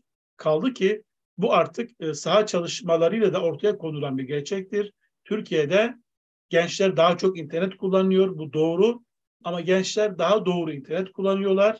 Ama ba- internet bağımlılık oranı e, maalesef yaşlılarımızda 50 yaş üstünde. Hadi orada e, şey de söyleyeyim 50 yaş üstü kadınlarda internet bağımlılığı çok daha fazla. Tek tek cümleleri analiz edecek değilim. Bahsettiğiniz kitapta yani ne yapsak bu gençleri kitabında bu 60 ön yargılı cümleden 15-16 tanesini yani 20'ye yakınını tahlil ediyorum tek tek. Üstelik e, bir nostaljik tahlil değil bu. Bir duygusal tahlil değil. Hepsi tek tek verilere dayanarak yapılmış tahlillerdir. E, bu ön yargıdan vazgeçmemiz gerekiyor. Peki vazgeçmezsek ne olacak? Bir, biz gençlere yönelik ön yargılarımızı korumaya devam edersek ve bu ön yargılara yenilerini eklersek bizim gençlerle iletişimimiz sağlıksız olacaktır. Ama gençlerle başkalarının iletişimi sağlıklı oluyor. Bakın bütün dünyada çocuklarla ve gençlerle en iyi iletişim kuran gruplar çoğunlukla yasa dışı örgütlerdir. Neden? Çünkü onlar gençlik psikolojisini, çocuk psikolojisini çok iyi bilirler. Yani yasa dışı örgütler derken buna terör örgütlerini ekleyebilirsiniz. Buna merdiven altı bir takım sosyal grupları ekleyebilirsiniz. Bunları gizli kapaklı iş yapan bir takım platformlar ekleyebilirsiniz. Buna e, maalesef dijital bazı gruplar veya platformlar ekleyebilirsiniz. Yani biz kendi gencimizi ön yargılarla dışlıyoruz ama sevmediğimiz bazı uluslararası gruplar veya ulusal gruplar çocuk psikolojisini, gençlik eğilimlerini çok iyi bildiği için onlarla bağlantı kuruyorlar. Ve sonra diyoruz ki ya ne olacak bu gençliğin hali? Ne olacak? Çünkü sen iletişim kurmuyorsun, sen ön yargıyla hareket ediyorsun. E, demin sohbetin başında konuştuk. sen dinlemiyorsun, sürekli susturuyorsun ama çocuğu dinleyen, genci dinleyen birileri oluyor. Ona abilik, ablalık yapan birileri çıkıyor. Ona onun duygusuna hitap edebilen, o gencin varlığını saygın bulan birileri çıkıyor ve onların e, peşine maalesef gençlerimiz e, takılabiliyorlar.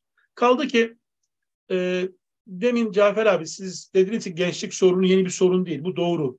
Yani ta milattan önceki bir takım kayıtlarda bile işte Aristo'nun ne bileyim Hesidos'un ya da diğer filozofların bile e, gençlere yönelik ön yargılı hatta nefret içeren cümleler kurduğunu biliyoruz. Yani filozofların bilediği özellikle söylüyorum çünkü filozof dediğimiz insan daha felsefi düşünür, daha düşünce merkezi düşünür. Onların böyle hata yapması çok da kabul edilebilir şeyler değil. Ama burada kendimize e, bir bahane bulmayalım. Yani şunu demeyelim. Ya Erol Bey zaten gençlerle ilgili olumsuz cümle kurmak binlerce yıllık bir problem. Dolayısıyla bu normal demeyelim. Neden özellikle böyle bir bahis açtım? Şunun için. Şimdi bu ne yapsak bu gençleri kitabı e, çıkınca iz yayıncılıktan enteresan dönüşler aldım. Bu dönüşlerden biri de bu bahsettiğim husus. Bazı okuyucular kitapta benim ya gençlik problemin yeni olmadığını, binlerce yıllık bir geçmişi olduğunu, geçmiş kültürlerde de e, gençlerle ilgili ön yargılı cümleler kullanıldığını, hatta filozofların, düşünce insanların bile gençlere yönelik bu tür cümleler kurduğumu e, anlattığım bölümleri okuyunca ya dediler ki Erol Bey çok da problem etmeyelim. Bu, bu hep böyle olmuş, olabilir falan dediler. Aa baktım ki benim bir analizim aleyhte kullanılıyor. Dedim ki bir dakika durun bakalım. Dedim siz e, Aristo'dan yana mısınız, Hazreti Muhammed'den yana mısınız? Dedim hadi tercihinizi yapın. Bunu şunun için söylüyorum. Sevgili peygamberimizin e, gençlerle ilişkisi tarihin hiçbir filozofuna benzemiyor. Tarihteki hiçbir, hiçbir siyasetçinin, hiçbir annenin ve babanın, babanın tavrına benzemiyor. Mesela bizi dinleyen muhtemelen hadis ilminde e, tedrisat yapmış arkadaşlarımız da vardır. Onlar da bu dediğimi teyit edecekler. E, Birçok hadis arkadaşımıza, hadisçi arkadaşımıza şunu sordum. Ben de hadisi okudum, ben de görmemiştim ama daha uzman arkadaşlarımızdan bu bilgiyi teyit ettim. Dedim ki ya sevgili peygamberimizin gençlerin e, gençlere yönelik olumsuz tavırları var mı? Dediler ki yok. Dedim ki soru iki herhangi bir gencin sorusu karşısında sevgili peygamberimiz ya nereden çıkardın bu soruyu? Nereden uyduruyorsun bu soruyu? Kim öğretti sana bu soruyu? Defol karşımdan dediği veya buna benzer bir şey söylediği vaki midir? Dediler ki yok. Peki gençlerin e, gençlerle ilgili sevgili peygamberimizin hadis-i şeriflerinde ya bu gençler saygısızdır, ön yargılıdır, işte gençler şöyledir, bu gençler böyledir gibi metinler var mı, ifadeler, ibareler var mı? Yok. E o zaman yani Aristo'yu, Hesidos'u da filan filozofu filan devlet adamını kendimize rehber kabul ederek gençlik sorununun daimi bir sorun olduğunu ifade etmek ve buna sığırmak yerine her bir gence, her bir çocuğa değer veren, her bir gencin sorusunu, e, her bir çocuğun sorusunu saygın kabul edip ona cevap veren peygamberimizi e, taklit etmek ya da peygamberimizin yoluna gitmek daha doğru olandır. Dolayısıyla hani gençlik sorunun evet bir taraftan tarihi bir sorun olduğunu, kadim bir sorun olduğunu farkında olalım. Ama bu sorunun da doğal bir sorun olmadığını, hele hele Müslüman bir insana e, yakışmayacağının farkında olmamız gerekir. E, Cafer'e bu gençlik konusunda bir cümle daha söylemek istiyorum. O da şu. E, hepimiz Darül Erkam'ı biliyoruz. E, Darül Erkam İslam'ın ilk döneminde, ilk 3-4 yılında biliyorsunuz bir komuta merkezi olarak çalışmıştır. Yani aslında en meşakkatli dönemde e, Darül Erkam vazife görmüştür. Darül Erkam'ı yani Erkam'ın evi anlamında o evi sevgili peygamberimize tahsis eden genç henüz 17-18 yaşındaydı. Bakın sevgili peygamberimiz şunu demedi. Ulan çoluk çocukla iş yapılmaz be falan demedi. 17 yaşında, 18 yaşında Erkam adlı bir genç sahabenin e, kendisini davetine icabet etti ve o evi kullanmaya başladı. Ya da daha ilginç bir veri aktarayım. Hazreti Ömer Müslüman oluncaya kadar Darül Erkam'daki insanların sahabenin yaş ortalaması 23-24'tür. Çok enteresan değil mi? Yani bizim bugün bir şey bilmiyorlar. Efendim bunlara e, işte devlet devlet teslim edilemez. Sen kenarda dur, sen bilmezsin işte sen e, giderken biz dönüyorduk gibi cümle kurduğumuz gençlerin yaş ortalaması, Darül Erkam'ın yaş ortalaması. Ve sevgili Peygamberimiz bu İslam tarihinin en kritik döneminde en kritik mevzuları bu gençlerle konuştu. Yani şunu demedi. Geldi ve çocuklar, gençler şu ayak altından çekilin bakalım. Siz yan odaya geçin. Biz şurada büyüklerinizle şu meseleyi konuşacağız falan demedi. Onlarla da konuştu. Yani yaşlıların tecrübesi ve aklıyla gençlerin aklını, enerjisini, gelecek perspektifini bir potoda eriterek bir istişare e, tarzı ortaya koydu. Onun için e, çok vakit geçmeden bu sorunu çözmemiz gerekir. Çünkü bu sorunu çözmezsek e, gelecekteki sorun, gelecekteki sorun tam tersine bir sorun. E, bu defa genç karşıtlığının yerini yaşlı karşıtlığı ya da yetişkin düşmanlığı almaya başlayacak eğer bu sorunu çözemezsek. Tabii e, yani bir durum tespiti, bir karamsarlık tablosu değil. Tabii. Ve bu tespitlerden sonra da sevgili kardeşimiz son söz olarak ne yapalım, nasıl yapalım diye de e, açıkçası özet olarak 25 maddede nelerin yapılması gerekliliğini aslında her bir maddeyi bile saatlerce ele kalıp konuşmamız gerekir ama asıl olan hakikaten bu konuya e, önceliğimiz hale getirebilmek. Elbette biz bütün sebeplere tevessül etsek de e, kaçaklar olacak, karşılıklı yanlışlar olanlar olabilir ama biz azami derecede bir insanı kaybetmemek için bir gencimizi, bir yaşlımızı, bir orta yaşlımızı, bir hanım kızımızı, bir evladımızı, bir çocuğumuzu, hiçbir ferdi ile ilgili e, e, her fırsatta söylüyoruz.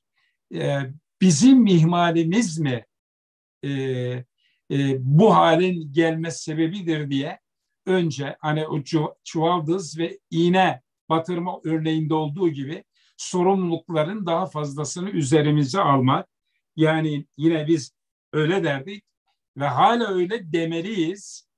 Ee, e, bilenlere niçin anlatmadığınız sorusu sorulmadan e, bilmeyenlere niçin yaptığınız sorusu sorulmayacak. Yani dolayısıyla bu işin önünde olan insanlar, önce olan insanlar daha fazla sorumluluk almalı. E, tabii bir farkındalık oluşturma, yargıları e, yıkmaya yönelik olarak gerçekten çok kıymetli bir çalışma olduğunu, güncellenerek, yeni verilerle desteklenerek hatta hatta e, bunlar arasından odak noktalar oluşturarak yeni çalışmaların da olması gereğine inananlardan birisiyim. Ve ben bu akşam bu programı izleyen dostlara hem kendi çocuklarıyla hem gençleriyle hem cemiyetiyle hem yönettikleri personeliyle gerek özel sektörde gerek kamu sektöründe oluşturulan olaylarla alakalı öyle otoritenin gücün, makamın gücüyle talimatlar yağdırmak değil, gönül seferberliği, bir ekip havasını, ekip ruhunu inşa ettirmek lazım. E, düne kadar e, takipçiniz 10 kişi, birden bir makama geliyorsunuz. Makamın gücüyle on binlerce insan, e, efendim tweetleriniz on binlerce retweet yapılınca ben neymişim diyorsun. Üç gün sonra o görevden uzaklaşınca hiçbir şey olmadığını da görüyorsun. Onun için dostlar biz diyoruz ki e, elbette burada bizim için dostların hangi şahitliği yapacağı çok önemli ama asıl odaklanacağımız gün bir o makamda olmadığımız gün ne söyleneceği ve de biz dünya ile bağımızı kestiğimizde musalla taşında bizim için ne deneceği çok daha önemli. Tabii ne yapsak bu gençleri eserini gösteriyorum aziz dostlar. Bu eserin mutlaka okunması, kafa yorulması, ev sohbetlerinde bizim eskiden bakın az önce değerli abimden bahsettim. İşte o zaman aramızda şey 15 yıl yaş var. Erzurum İslam ilimlerde okuyor. Geldiğinde kış gecelerinde, yaz günlerinde ufak yaşımda hatırlıyorum yapılan, okunan kitaplar, eserler okunurdu. İnanın böyle zihnimde bugünkü berraklığıyla kalan eserler. Belki bugün okuduklarımdan çok daha net hafızada kalan okuyun bu eserleri. Bu değerlendirmeleri çocuklarla tartışın, onlardan öneri alın, onlarla efendim bakış açılarını görmeye çalışın. Bu son derece kıymetli ve önemli. Ama çok daha önemli hususlardan birisi aslında e, bir onun kadar önemli. Oyun kimin? Çocuk ve oyuna dair toplumsal bir yüzleşme kitabı ve bu eserle alakalı da diyorsunuz ki netice itibariyle oyun kiminse yani oyunu kim kuruyorsa aslında e, çok büyük bir metafor da var. Yani siyasette de böyle oyunun kuranlar, oyunun kurallarını belirleyenler e, e, dolayısıyla e, e, işin kazananı oluyor. Oyunlar bizim kültürümüzü, değerimizi, tarihimizi, dünümüzü, bugünümüzü ortaya koyma adına son derece önemli. Oyunlar, oyuncaklar son derece önemli. Hocam tabii e, oyunsuzlaşmanın yeni halinden bahsediyorsunuz. İşte modern dünyadaki oyun e, sürecinden, dijital dönemin oyun anlayışından, e, aile içi etkileşim veya burada iletişimin sıkıntılarından e, ve toplumsal bir yüzleşme ihtiyacımızın olduğuna da e, haklı olarak bir vurgu yapıyorsunuz. Şimdi ben tabii burada e, günümüz anne ve babaları çocuklarıyla ilgili maşallah bir dediklerini iki yapmıyorlar. Oyuncak mı istiyorlar? Oyuncak alıyorlar. Her gün bir oyuncak. Efendim hatta hatta daha işi aşıttırıp telefon mu istiyorlar? Buyur telefon. Efendim internet mi sonuna kadar kullan. Elbette e, tabii burada e, bunun bir orta yolunu bulmak gerekmiyor mu? Yani oyuncaktan önce e, elbette oyun, onlarla oynamak daha önemli. E, o oyuncağa bir özlem duyacak bir ortamı oluşturmak önemli. Yani dolayısıyla çocuklarımız, oyunlarımız ve oyuna dair sadece bu eseriniz değil, tabii diğer taraftan da e, oyun sözlerinden e, de, dolayısıyla e, e, ve e, Saklam Bosi kitabınızdan e, dolayısıyla aslında çocuk edebiyatına dair ta 90'lı yıllarda Mavi Kuş e, Çocuk Dergisi'nin çıkışına varıncaya kadar e, çocuk alanında sizin hasreten üzerinde durduğunuz ama aslında sizin değil her birimizin ziyadesiyle üzerinde durmamız gereken bir konu. Evet, e, bu kadar önemli konuda artık ben bu kadar özetleyebildim. Yazan ve çizen olarak artık iş sizde, söz sizde sevgili kardeşim. Estağfurullah. Ee, aslında e, Cafer abi bu Oyun Kimin kitabı biraz ne yapsa bu gençleri kitabının e, devamı ya da öncülü de sayılabilir. Çünkü ne yapsak bu gençleri kitabında e, toplumla gençlerin ilişkisini ya da yetişkinlerle gençlerin ilişkisini tahlil ediyorum ve onunla ilgili topluma özellikle de büyüklere bir takım tavsiyelerde bulunuyorum. Oyun Kimin kitabında da aynı konuyu aslında çocuklarla ilgili yapıyorum. Yani e, bu defa e, aileyle çocuk, işte öğretmenle çocuk ya da siyasetçi çocuk arasındaki e, ilişkiyi oyun üzerinden e, tahlil ediyorum. Oyun neden önemli? E, çünkü biz hayata aslında oyunla birlikte doğuyoruz. Hatırlayalım e, ya da kucağında henüz böyle e, bebek olan anneler e, ya da evinde küçük çocuk olanlar e, bunu hemen Aa, evet diyeceklerdir. Doğduğumuzdan bir süre sonra annemizin kucağına geldiğimizde e, biz oyunla e, hayatı devam ettiririz. Ve o C oyunu vardır ya meşhur C oyunu. E, o oyun aslında bizim hayata başlama e, serüvenimizin de e, başlangıç noktasıdır. Hayat oyunla başlıyor ve oyunla devam ediyor. E, okul yok yokken oyun vardı.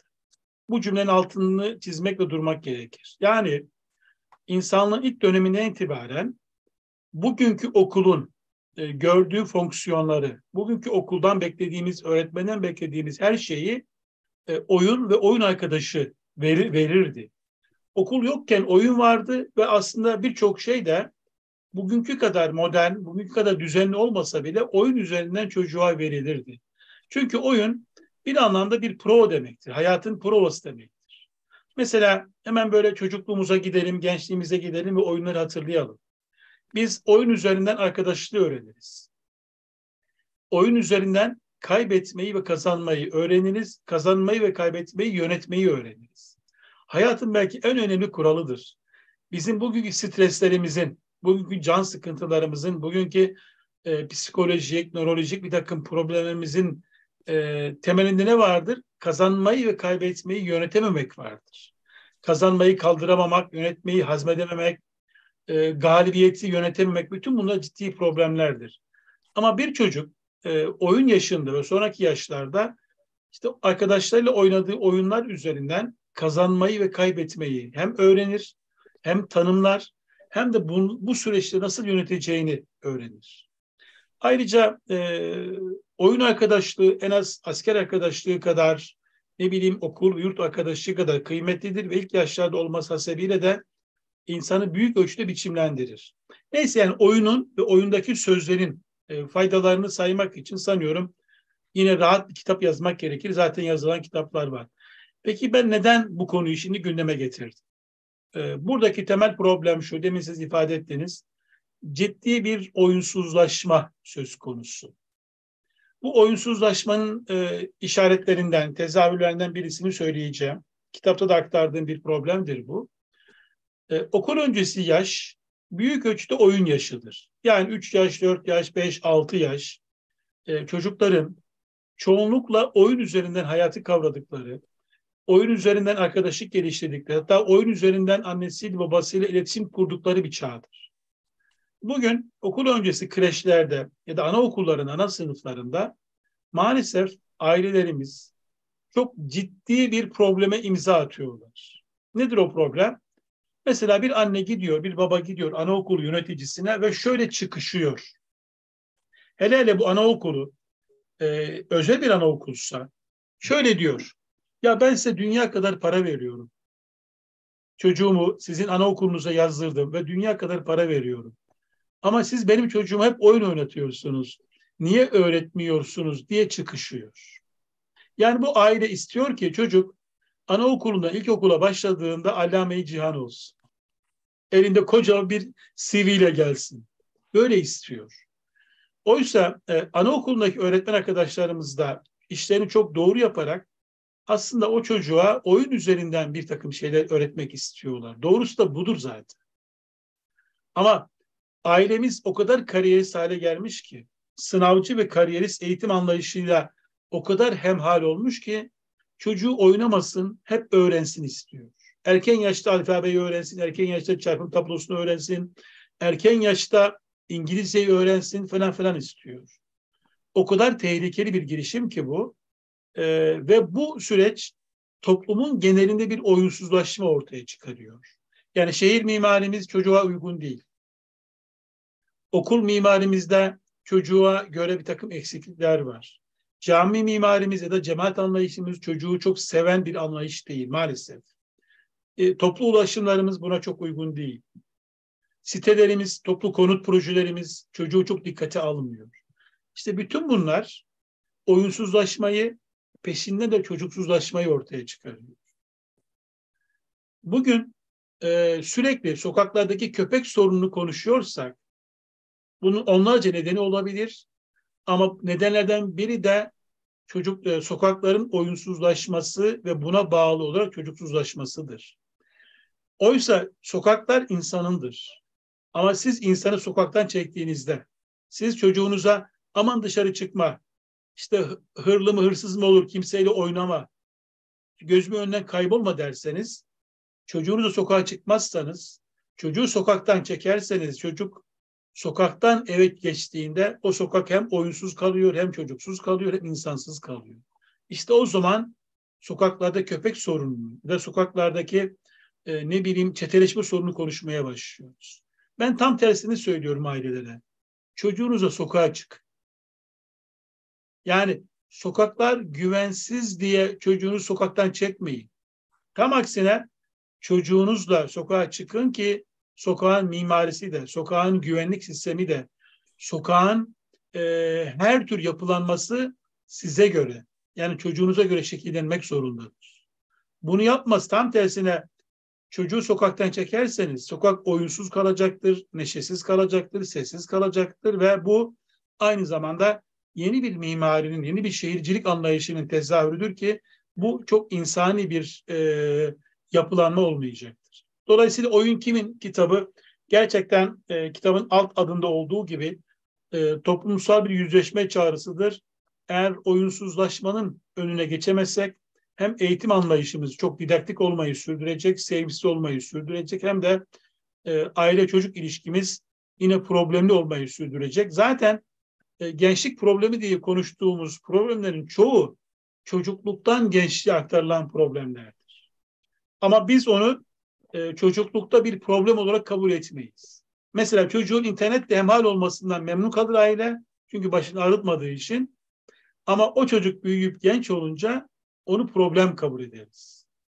Onun için e, gençlerle aramızdaki sorunların azalmasını istiyorsak aslında e, çocuk yaklaşımımızı gözden geçirmeniz, geçirmemiz lazım ki oyun da e, bu meselenin tam böyle merkezinde duruyor. Aslında çok ciddiye alıp kendimizi böyle hem bir taraftan hayatın çok hızlı geçtiğini e, bahsederken e, gereğinden fazla ciddileşmeye sanki oyunla iç içe olmak bizi çocuklaştıracakmış gibi düşüncesinden e, bir an önce oyundan e, uzaklaşmak istiyoruz. Aslında oyun sadece çocuklar için değil, büyükler için de aslında öneriyorsunuz. İsrarla üzerinde duruyorsunuz. E, bu, bu son derece kıymetli. Değerli dostlar tabii e, oyun e, kimin eseri de e, bana göre e, mutlaka ve mutlaka anne babaların, e, eğitimcilerin, e, çocuklarımız ve geleceğimiz derdi, kaygısı, endişesi olanların üzerinde durması gerekenler açısından e, önemli bir husus. Tabii oyunlara dair aslında denmemiş birçok oyunun da tespitine öyle mi? Yani oyunlara dair bilgilendirmenin de içerisinde aldığı çalışmalar yine oyun sözleri ve bu e, Saklambosi eserinizde herhalde yine bu e, çocuklara e, yönelik bu ihtiyacın giderilmesine matuf yapılan çalışmalar.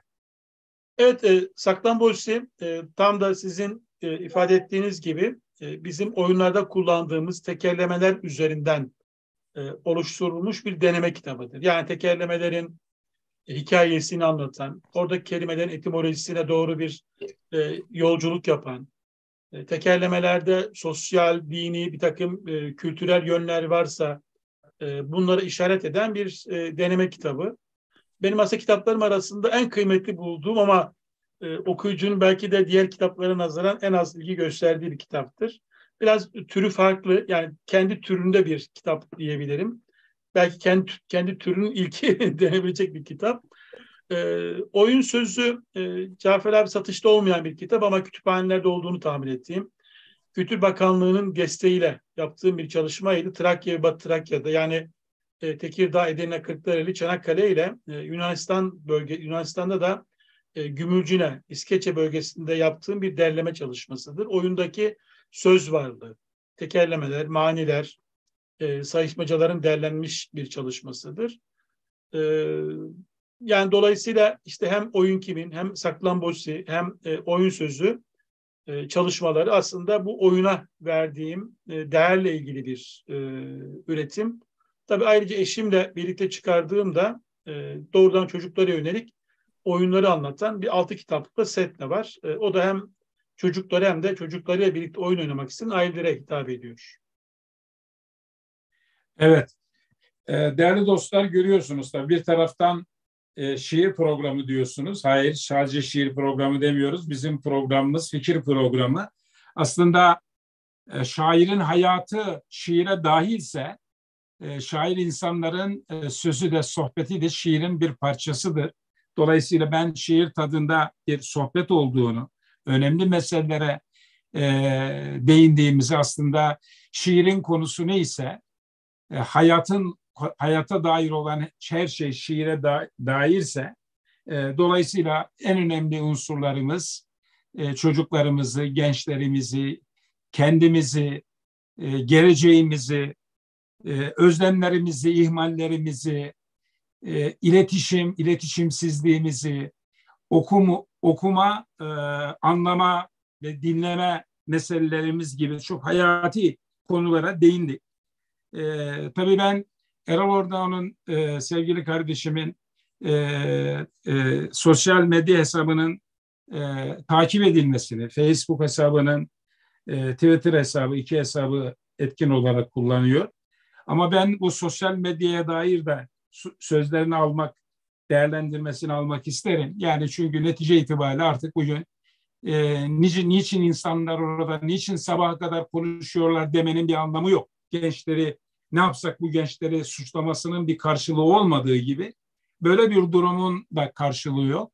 Önemli olan buralarda itiraz etme yerine çok daha kaliteli, nitelikli, dinlenmeye dair sözlerimizle insanların gönüllerine dokunabilmek. E, dün bir programda, bir şiir programıydı, katıldım. Muhtemelen şu anda dostlardan birileri de var. Oldukça hesabı e, işte güçlü vesaire olan, biraz da tam motivasyon duygusu itibariyle annesini de yeni kaybetmiş bir modda.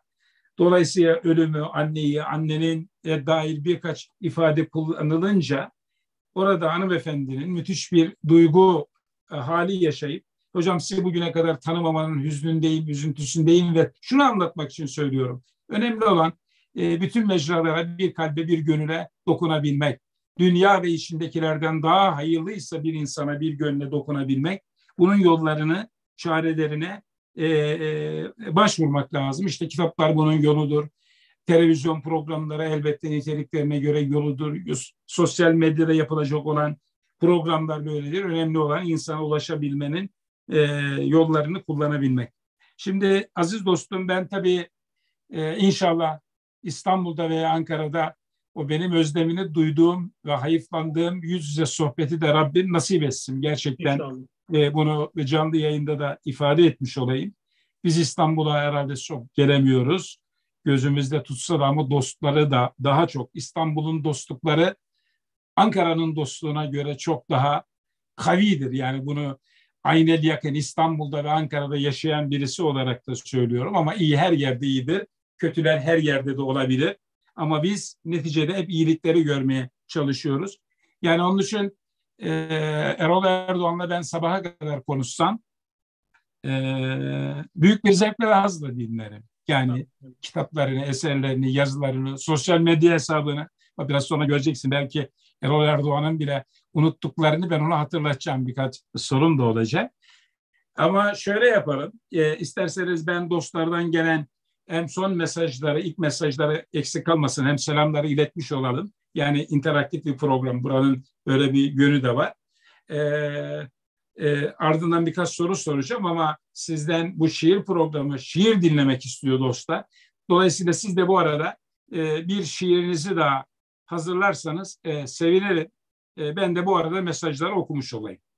Evet tabii programın başında dedim ya biz tersten girdik. Hayırlı yayınlar, tür dikkat dinleyip not almak için kalem kağıt bulundurun.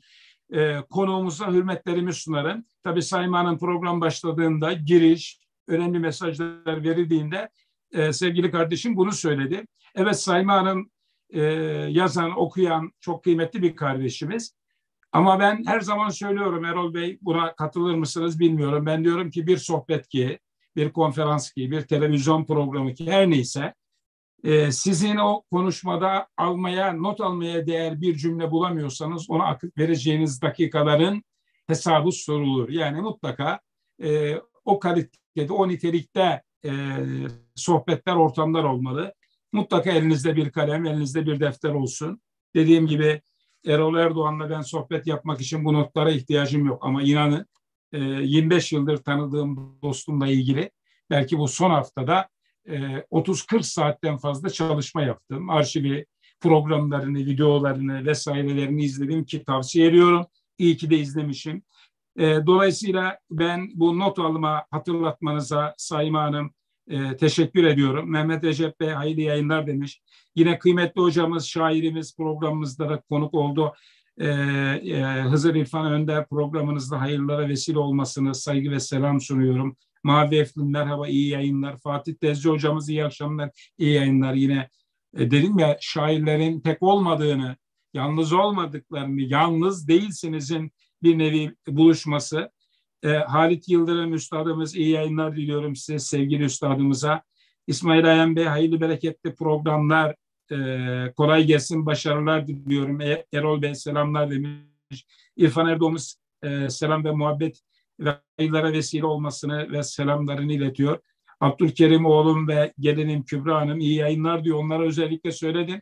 Bak dedim e, torunlar var. E, kızıma da damada da e, geline de e, yani çocuklara oyuncak alın eyvallah ama oyuncaktan daha fazla zaman ayırın diye söyledim. Evet davet e, e, Cafer Hocam size ve konunuza selamlar. Diyor e, Mustafa Uzan Bey. Hamza Yemici doktorumuz hayırlı akşamlar, hayırlı yayınlar. Ali Aydın, Aydın Bey diyor ki Sayın Hocam çok güzel bir program ile karşı karşıyayız. Selamlar diyor. E, Kürşat Fatih Dursun hayırlı e, Sayın Genel Müdürüm hayırlı yayınlar dilerim diyor. Adem Eminoğlu iyi yayınlar diliyorum sizinle ve kıymetli konuğunuza.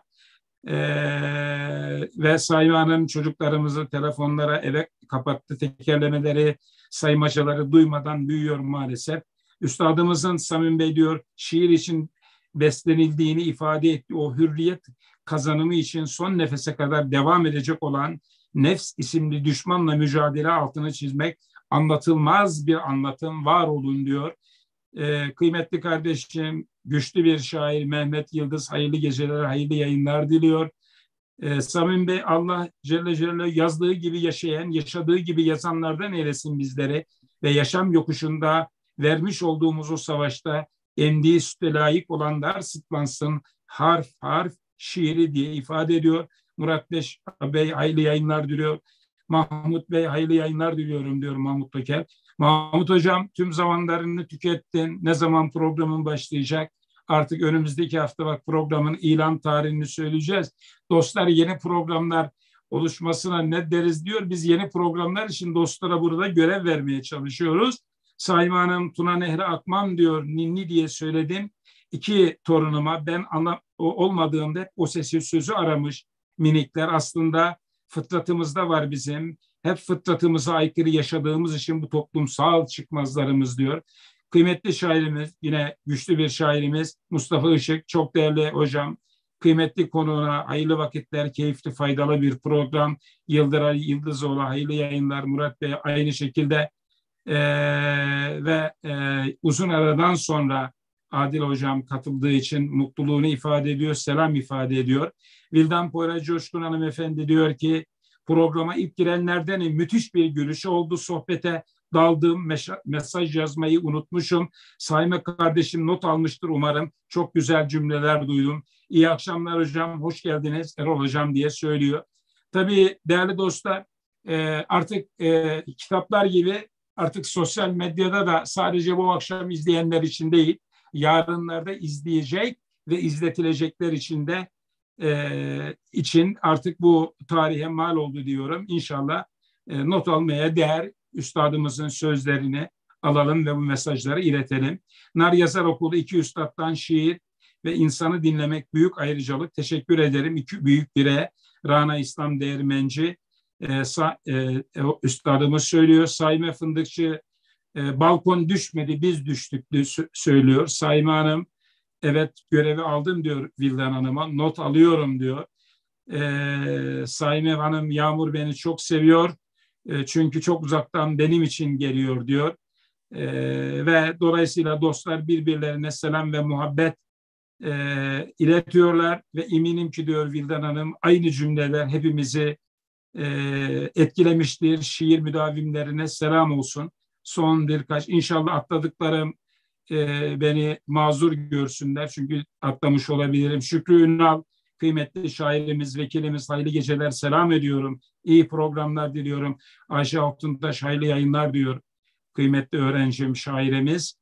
Ee, çok kıymetli bir sohbetin dinleyici olmamızı sağlayan hocama, Erol hocama çok teşekkür ediyorum diyor Sayma Hanım. Arif Bey e, mutluluklarını, Çiçek Hanım hayırlı yayın dileklerini ee, inşallah ileride konuğumuz olacak. Onunla da mutabık kaldık. Eyüp Azlal Bey hayırlı yayınlar diliyorum. Size ve Erol Erdoğan üstadımıza selam ederim diyor. Kıymetli hocamız Ali Yılmaz iyi yayınlar diliyor. Muzaffer Alptekin Bey evet öyle dostlar var. Muzaffer Alptekin Bey e, çok kıymetli dostumuz. Ailece ben iddia ediyorum Erol Bey herhalde 134 programın 134'ünü de takip eden bir Maşallah. kardeşimiz. Ama diyor ki ailece size ve Erol hocama bu yayındaki performansa çok teşekkür ederiz diye de o çoğun da ben oğlarını artırarak söylüyorum. Mavi Efkin oyun evet diyor. Mehmet Recep Yazgan sadece gençler değil çocuk, olgun, yaşlı birbirimizi dinlemiyoruz ve tabii anlamıyoruz. Kafamızdaki ön yargılara mahkum ediyoruz. Allah'ın kitabını bile dinlemeyip anlamaya gerek duymuyoruz. Bu Mevlana'nın ağır Mevlana'nın sağır hikayesindeki gibi davranma alışkanlığı bireysel ve sosyal bunalımımızın ana sebepleri değil mi diye de ifade ediyor. Yine Şifanur Özçelik Şirin e, iki değerli büyüğümüze selamlar diyor. Tabii Şifanur Hanım da e, kıymetli bir şairimiz, yazan, çizen, edebiyatçıları bir araya toplayan e, Erguvan e, okumaları e, altında e, Konya, nedir Bursa'da e, her hafta sonu yazarlarla, şairlerle birlikte olan birisi. İnşallah Erol Erdoğan kardeşimizi de en yakın zamanda Konya'ya Şifanur Hanım mutlaka konuk edin. Bursa'ya. Ee, Bursa'ya, evet. evet. Bursa'da konuk edin inşallah. Bursa'yı sever, her yeri sever. Anadolu insanımızın olduğu her yeri sever. E, dışarıdaki dinmez gürültünün kulaklarımı tıkaması, bir çocuk saflığıyla hayatı oyuna çeviremeden, körebe saklambaç sekse döndüremeden bir yalanın elinde oyuncak olmam için mi diye Mehmet Recep Yazgan e, soruyor. Üstadım takip aldım müsaadesiyle diyor. Vildan Poyraz Coşkun kazançlarımızı bir kazanç daha katarak günü kapattık. Çok güzel, faydalı bir program oldu. Her iki hocama teşekkür ediyorum. Hatice Sakbın Giresuni şairlerimizden, şairelerimizden. Hocam kıymetli konumuz Erol Erdoğan'a da selamlar, hoş geldiler. Güzel yayın, kulağıma, e, kulağım sizde ve meşguldüm diyor. Eyvallah. Hatice Hanım, ancak çocuklarla ilgili tespitler konusundan dolayı hocamızı kutluyor ve değerli bilgilendirinde istifade ettiğimizi belirtmek istiyorum. Giresun'dan selamlar. Evet inşallah hocam ahitleşmiş olalım bugün burada diye Şifanur Hanım da e, e, bu program bağlantımızı da sağ olsun böyle değerlendiriyor. Erol Bey de bizi kırmaz inşallah. Evet Bahtiyar Çaylak e, Emniyet Müdürümüz, bu da benim öğrencilerimden. Hocam bu güzel verimli program için teşekkürler diyor. E, Mavi Eflin çok güzeldi, var olun, iyi geceler diyor. Hocam e, e, yani yayında katılım hiç eksilmedi, artarak devam etti. Ben dostlara canı gönülden teşekkür ediyorum. E, umut ediyoruz ki e, e, bu halka, bu dostlar yarın nerede, hangi mecrada benim en büyük sizin 2023'e dair hayalleriniz vardı, hedefleriniz. Biraz sonra soracağım. Benim de hedeflerimden biri Erol Bey, e, bu güzel dostları inşallah bir salonda bir araya toplamak. Yani bu programımıza katılan dostlara bu güzel yürekleri birbirleriyle böyle belki bir hafta sonu bir kamp şeklinde de fikirlerini, düşüncelerini ve ortak bir birlikte çalışma iradesini de ortaya koymak. Mahmut Toker, Erol Bey'e teşekkür ederiz. Çok güzel fikirler ve çok güzel bakışı için. Mahmut Toker iyi bir kitap okuyucusudur. Mahmut Bey bilmiyorum ama Erol Hocam'ın kitaplarını okumadıysan seni gibi kitap kurdu diyeceğimiz birisi bir nakısadır. Ancak bu ihmalinin ha, tamam. Erol Bey de artık fikir dünyamızda, takibimizde diyor. Evet Erol Bey e, gerçekten e, hiç mübalağa hani e, benim için iltifat dedi. Erol Bey de bilir, beni dostlar da bilir. Hani diyor ya hayal meyal ile yoktur alışverişim. İnan ki her ne demişsem görüp de söylemişim. Şu doğru cihanda en beğendiğim meslek sözüm odun gibi olsun, hakikat olsun tek. İnanmadığım bir cümleyi hayatımda kullanmadım. E, Erol Bey kardeşimiz gerçek bir münevverdir, entelektüeldir ve bir dosttur, bir candır. E, dolayısıyla e, bu güzel yüreği bugüne kadar tanımayan e, 3, 5, 10 dosta tanıtıp istifadesine e, vesile olduysak, bir güzel geceyi birlikte ihya ettiysek ne mutlu. Çünkü ömürlerimiz sınırlı olduğu gibi gecelerimiz de sınırlı.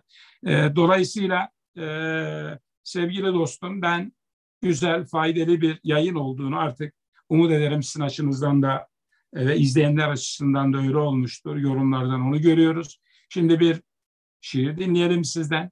Ardından birkaç kısa sorum olacak. E, tabii bir buçuk saatte bitiyorduk ama yıllardır özlemini duyduğumuz, e, beraberken de özlem duyduğumuz bir dostla herhalde bunu iki saatte tamamlamış olacağız e, diye umut ediyorum. Evet, buyurun. E, Cafer abi önce e, selamını ileten, tebriklerini ileten bütün dostlarımıza, bütün e, şairlerimize ben de teşekkür ediyorum. Sağ olsunlar, e, var olsunlar. Çok iyi dinleyicilerinizin olduğunu gördüm. Dolayısıyla bu sizin için de kutlanılacak, tebrik edilecek bir durum. Ben de sizi bu güzel dinleyicilere hitap ediyor olmanızdan dolayı da e, kutlarım ve teşekkür ederim. Çok sağ olun. E, şiirimin başlığı Can Şahin. E, çınar yaprağında bir ceylan uyuyordu. Rüzgar aldı götürdü ceylanı. Ağacın yaprakları ceylan kaldı. Güzel ceylan, nazlı ceylan, çınar ceylan.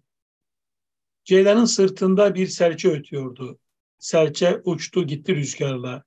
Rüzgarın sesi serçe kaldı. Minik serçe, şaşkın serçe, rüzgar serçe. Orman yolunda bir şahin koşuyordu. Şahin göçtü gitti ateşle. Ateşin rengi şahin kaldı. Ah şahin, vah şahin, can şahin. Ne yağmur yağar, ne kuşlar öter. Mevsim ne yazdır, ne bahardır. Ah insan, vah insan, dur insan. Ah insan, vah insan, insaf insan. E, bu şiir e, başlığındaki Can Şahin e, isminden belki bazı izleyicilerimiz e, hatırlamış olabilirler. E, 2017 yılında 2017'nin Temmuz'unda e, Marmaris'te bir orman yangını olmuştu. E, o orman yangınında e, genç bir arkadaşımız 25 yaşında Şahin Akdemir e, itfaiyecilerin o canhıraş çalışmalarını görüp e, onlara su taşımak istiyor.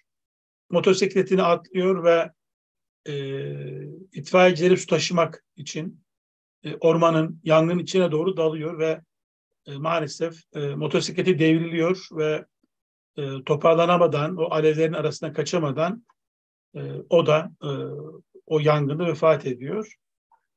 Şahin Akdemir'in o çabası, gayreti, e, itfaiyecilerimize su taşıma azmi beni çok etkilemişti. Tabii e, yangın içinde kalması da çok acıydı ve e, uzun süre Şahin Akdemir'in o yaşadığı acının etkisinde kaldım ve e, bu şiir de onun için yazıldı. Şahin evet. Akdemir, Şahin Akdemir ismi, e, şiirin başlığı da Can Şahin. Eyvallah. Rabbim kaleminizi güçlü kılsın e, e, ve e, cümle ölülerimize, şehitlerimize e, rahmet olsun.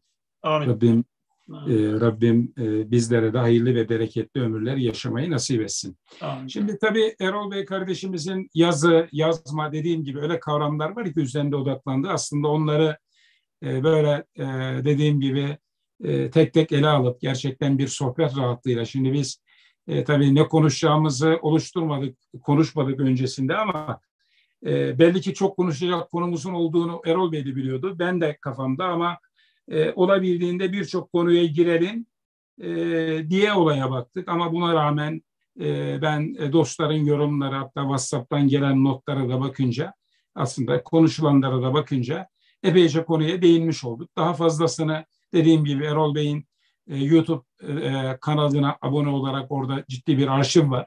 Ben oranın daha da zenginleşmesini, e, bu programın da oraya bir zenginlik katacağına inanıyorum, bilemiyorum. E, inşallah o programlardan biri olmuştur. E, dolayısıyla eserleri şey önemli. Tabii güzel önerlerinden biri de şu. Yazmak için diyor e, buradaki hocalarımız buna da katılırlar. Aslında en güzel olaylardan biri belki günlük.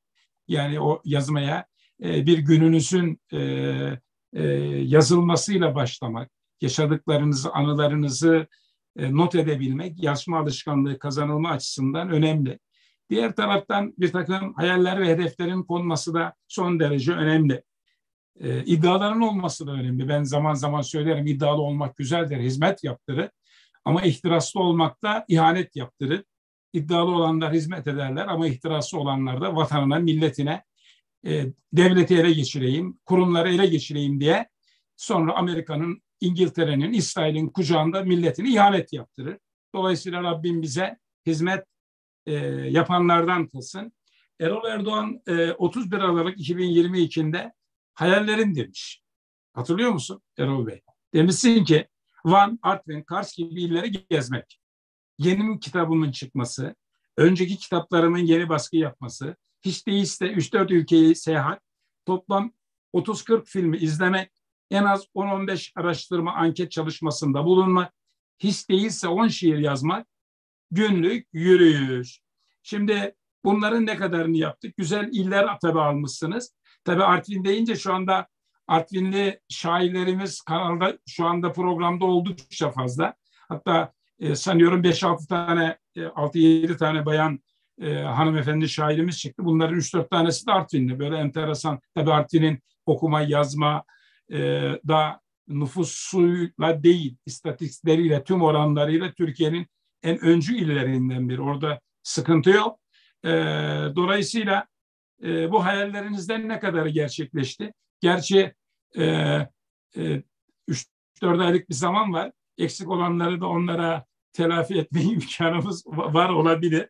Ama çok güzel buldum bunu. Yani dolayısıyla bu tür paylaşımları ortaya koymakta son derece kıymetli diye düşünüyorum. Evet buyur. E, Cafer abi henüz Artvin'e gidemedim. Önce oradan başlayayım. E, Artvin gitmek istediğim bir yer şundan dolayı. Sanıyorum yıllar önceydi. Artvin'le ilgili e, çok kısa filmler izledim. Yani kısa filmler izledim birkaç tane.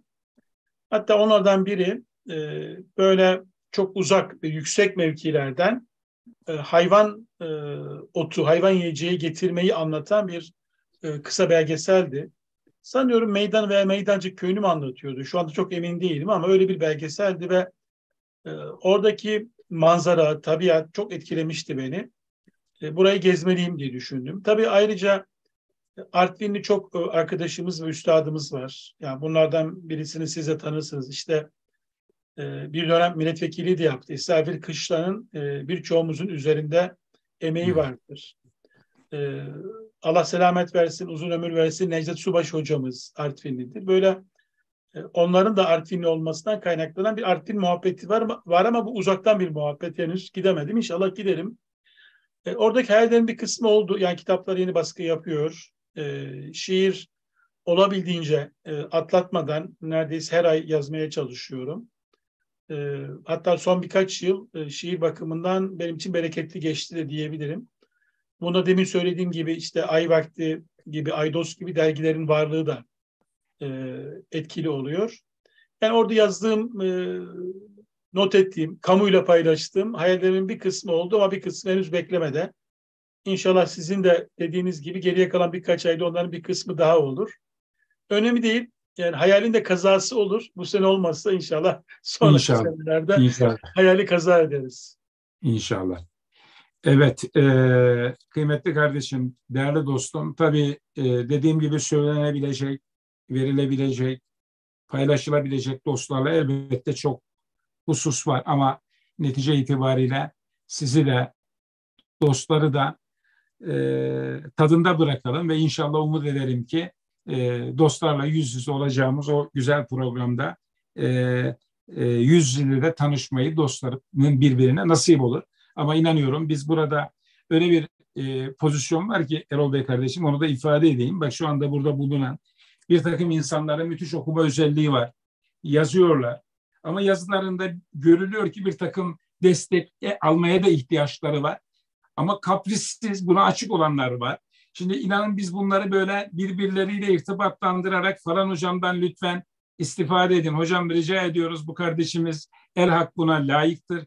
Biraz zaman ayırın bir insanın yetişmesine, olgunlaşmasına, oluşmasına e, efendim e, diye e, böyle e, bir e, hakikaten bir aile ortamı gibi yani bir sosyal medyada e, bir platformda olabileceğin e, gücümüz nispesinde en e, hala zorlamaya çalışıyoruz. Bunu ifade etmeliyim. E, son e, mesajınız, son sözleriniz hatta bize önerileriniz de olursa memnuniyetle biz programımızı özetlemeye çalıştık. Ama hemen burada ifade etmeliyim. Bak Villan Poyra Coşkun hanımefendi ki bunlar e, bay bayan şairler. İkisi de çok kıymetli e, kardeşlerimiz sağ olsun ziyaretimize de geldiler. Vildan Hocam diyor ki Erol Hocam filmlere bırakmamalıyız Artvin'i diyor. Yerinde görmek için bir fırsat diyor. E, oluştururuz Artvinliler oluştursunlar diyor. E, bunu da ifade ediyor. Şimdi tabii e, Türkiye'nin bu ülkenin her bir yeri çok özel ve güzel bir yer. Ama ben görev vesilesiyle her fırsat buldukça ki bu yazın bile yine e, Artvin'e gitme durumu oldu. Yani e, ilçeleriyle, coğrafyasıyla, insanıyla, e, hakikaten görülmeye öncelikler arasında yer alması gereken bir ilimiz.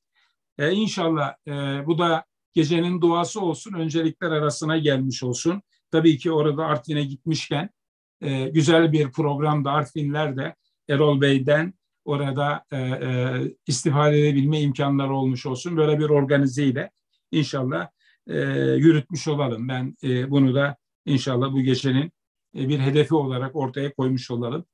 Evet, e, son söz sizin sevgili kardeşim. E, ben değerli dostlar haftaya cumartesi günü yine saat 22'de yine kıymetli bir konuğumuzla Rabbim lütfeder, nasip ederse yaşıyor isek e, birlikte olacağız. E, kıymetli dostum Erol Erdoğan Bey'e katılımları sebebiyle sizi de gecenin bu saatine kadar büyük ilgi ve alakanız sebebiyle kalbi selam ve şükranlarımı sunuyorum. Ama ısrarla söylüyorum. Bir hayrın işlenmesine vesile olmak onu işlemek gibidir. Bu programı yani bir eseri alıp işte yok adresine gönder, ulaştır. Ben şimdi bazı kitaplar istiyoruz dostların. O hafta içinde yetişmek bir imkanı olmuyor ama burada öyle değil. Tık diye link gibi kopyalıyorsunuz. Ee, bir tuşa basıyorsunuz. Bir anda 200 kişiye gönderebiliyorsunuz. Yani dolayısıyla bu programı program sonrasında da dostlarınızla lütfen paylaşın. Biz istifade edilmesini isteriz. Bakın bizim kıskançlığımız yok. Elhamdülillah bu güzel dostların e, bir ömür boyu oluşturduğu müktesebatını bir iki saatte ne kadarını alabilirsek almaya çalışıyoruz. Sağ olsun onlar da e, takdim etmeye çalışıyorlar. Evet aziz dostum söz sizin. E, sizinle bitirelim. E, Cafer abi ben de e, teşekkür ediyorum size. Hem davet ettiğiniz hem de e, beni de böyle rahat bir konuşma ortamında ağırladığınız için ben çok memnun kaldım. Kendimi çok iyi hissediyorum. E, bunun için kendi adıma teşekkür ederim. Elbette e, dinleyeceğinizi tekrar selamlıyorum. Onların da her birine e, teşekkür ediyorum. Gönderdikleri selamlar için de e, sağ olsunlar, var olsunlar. Madem bir şiir programı, şiire temasla ben de son sözlerimi paylaşmak isterim. İnsanlar şiirden uzak kalmamalılar. Dolayısıyla muhakkak araç kullanıyorsalar araçlarında, evde otururken masanın yan tarafında bir veya birkaç şiir kitabı olsun. E, zaman zaman kendileri, zaman zaman evdeki misafirleriyle e, şiir okuyabilirler.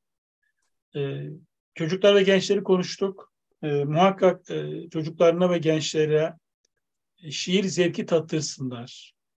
E, onların içinden şiir yazma kabiliyeti olan ya da şiir yazma yeteneğini fark edip bu konuda çaba gösterenler varsa onlara muhakkak e, destek olsunlar.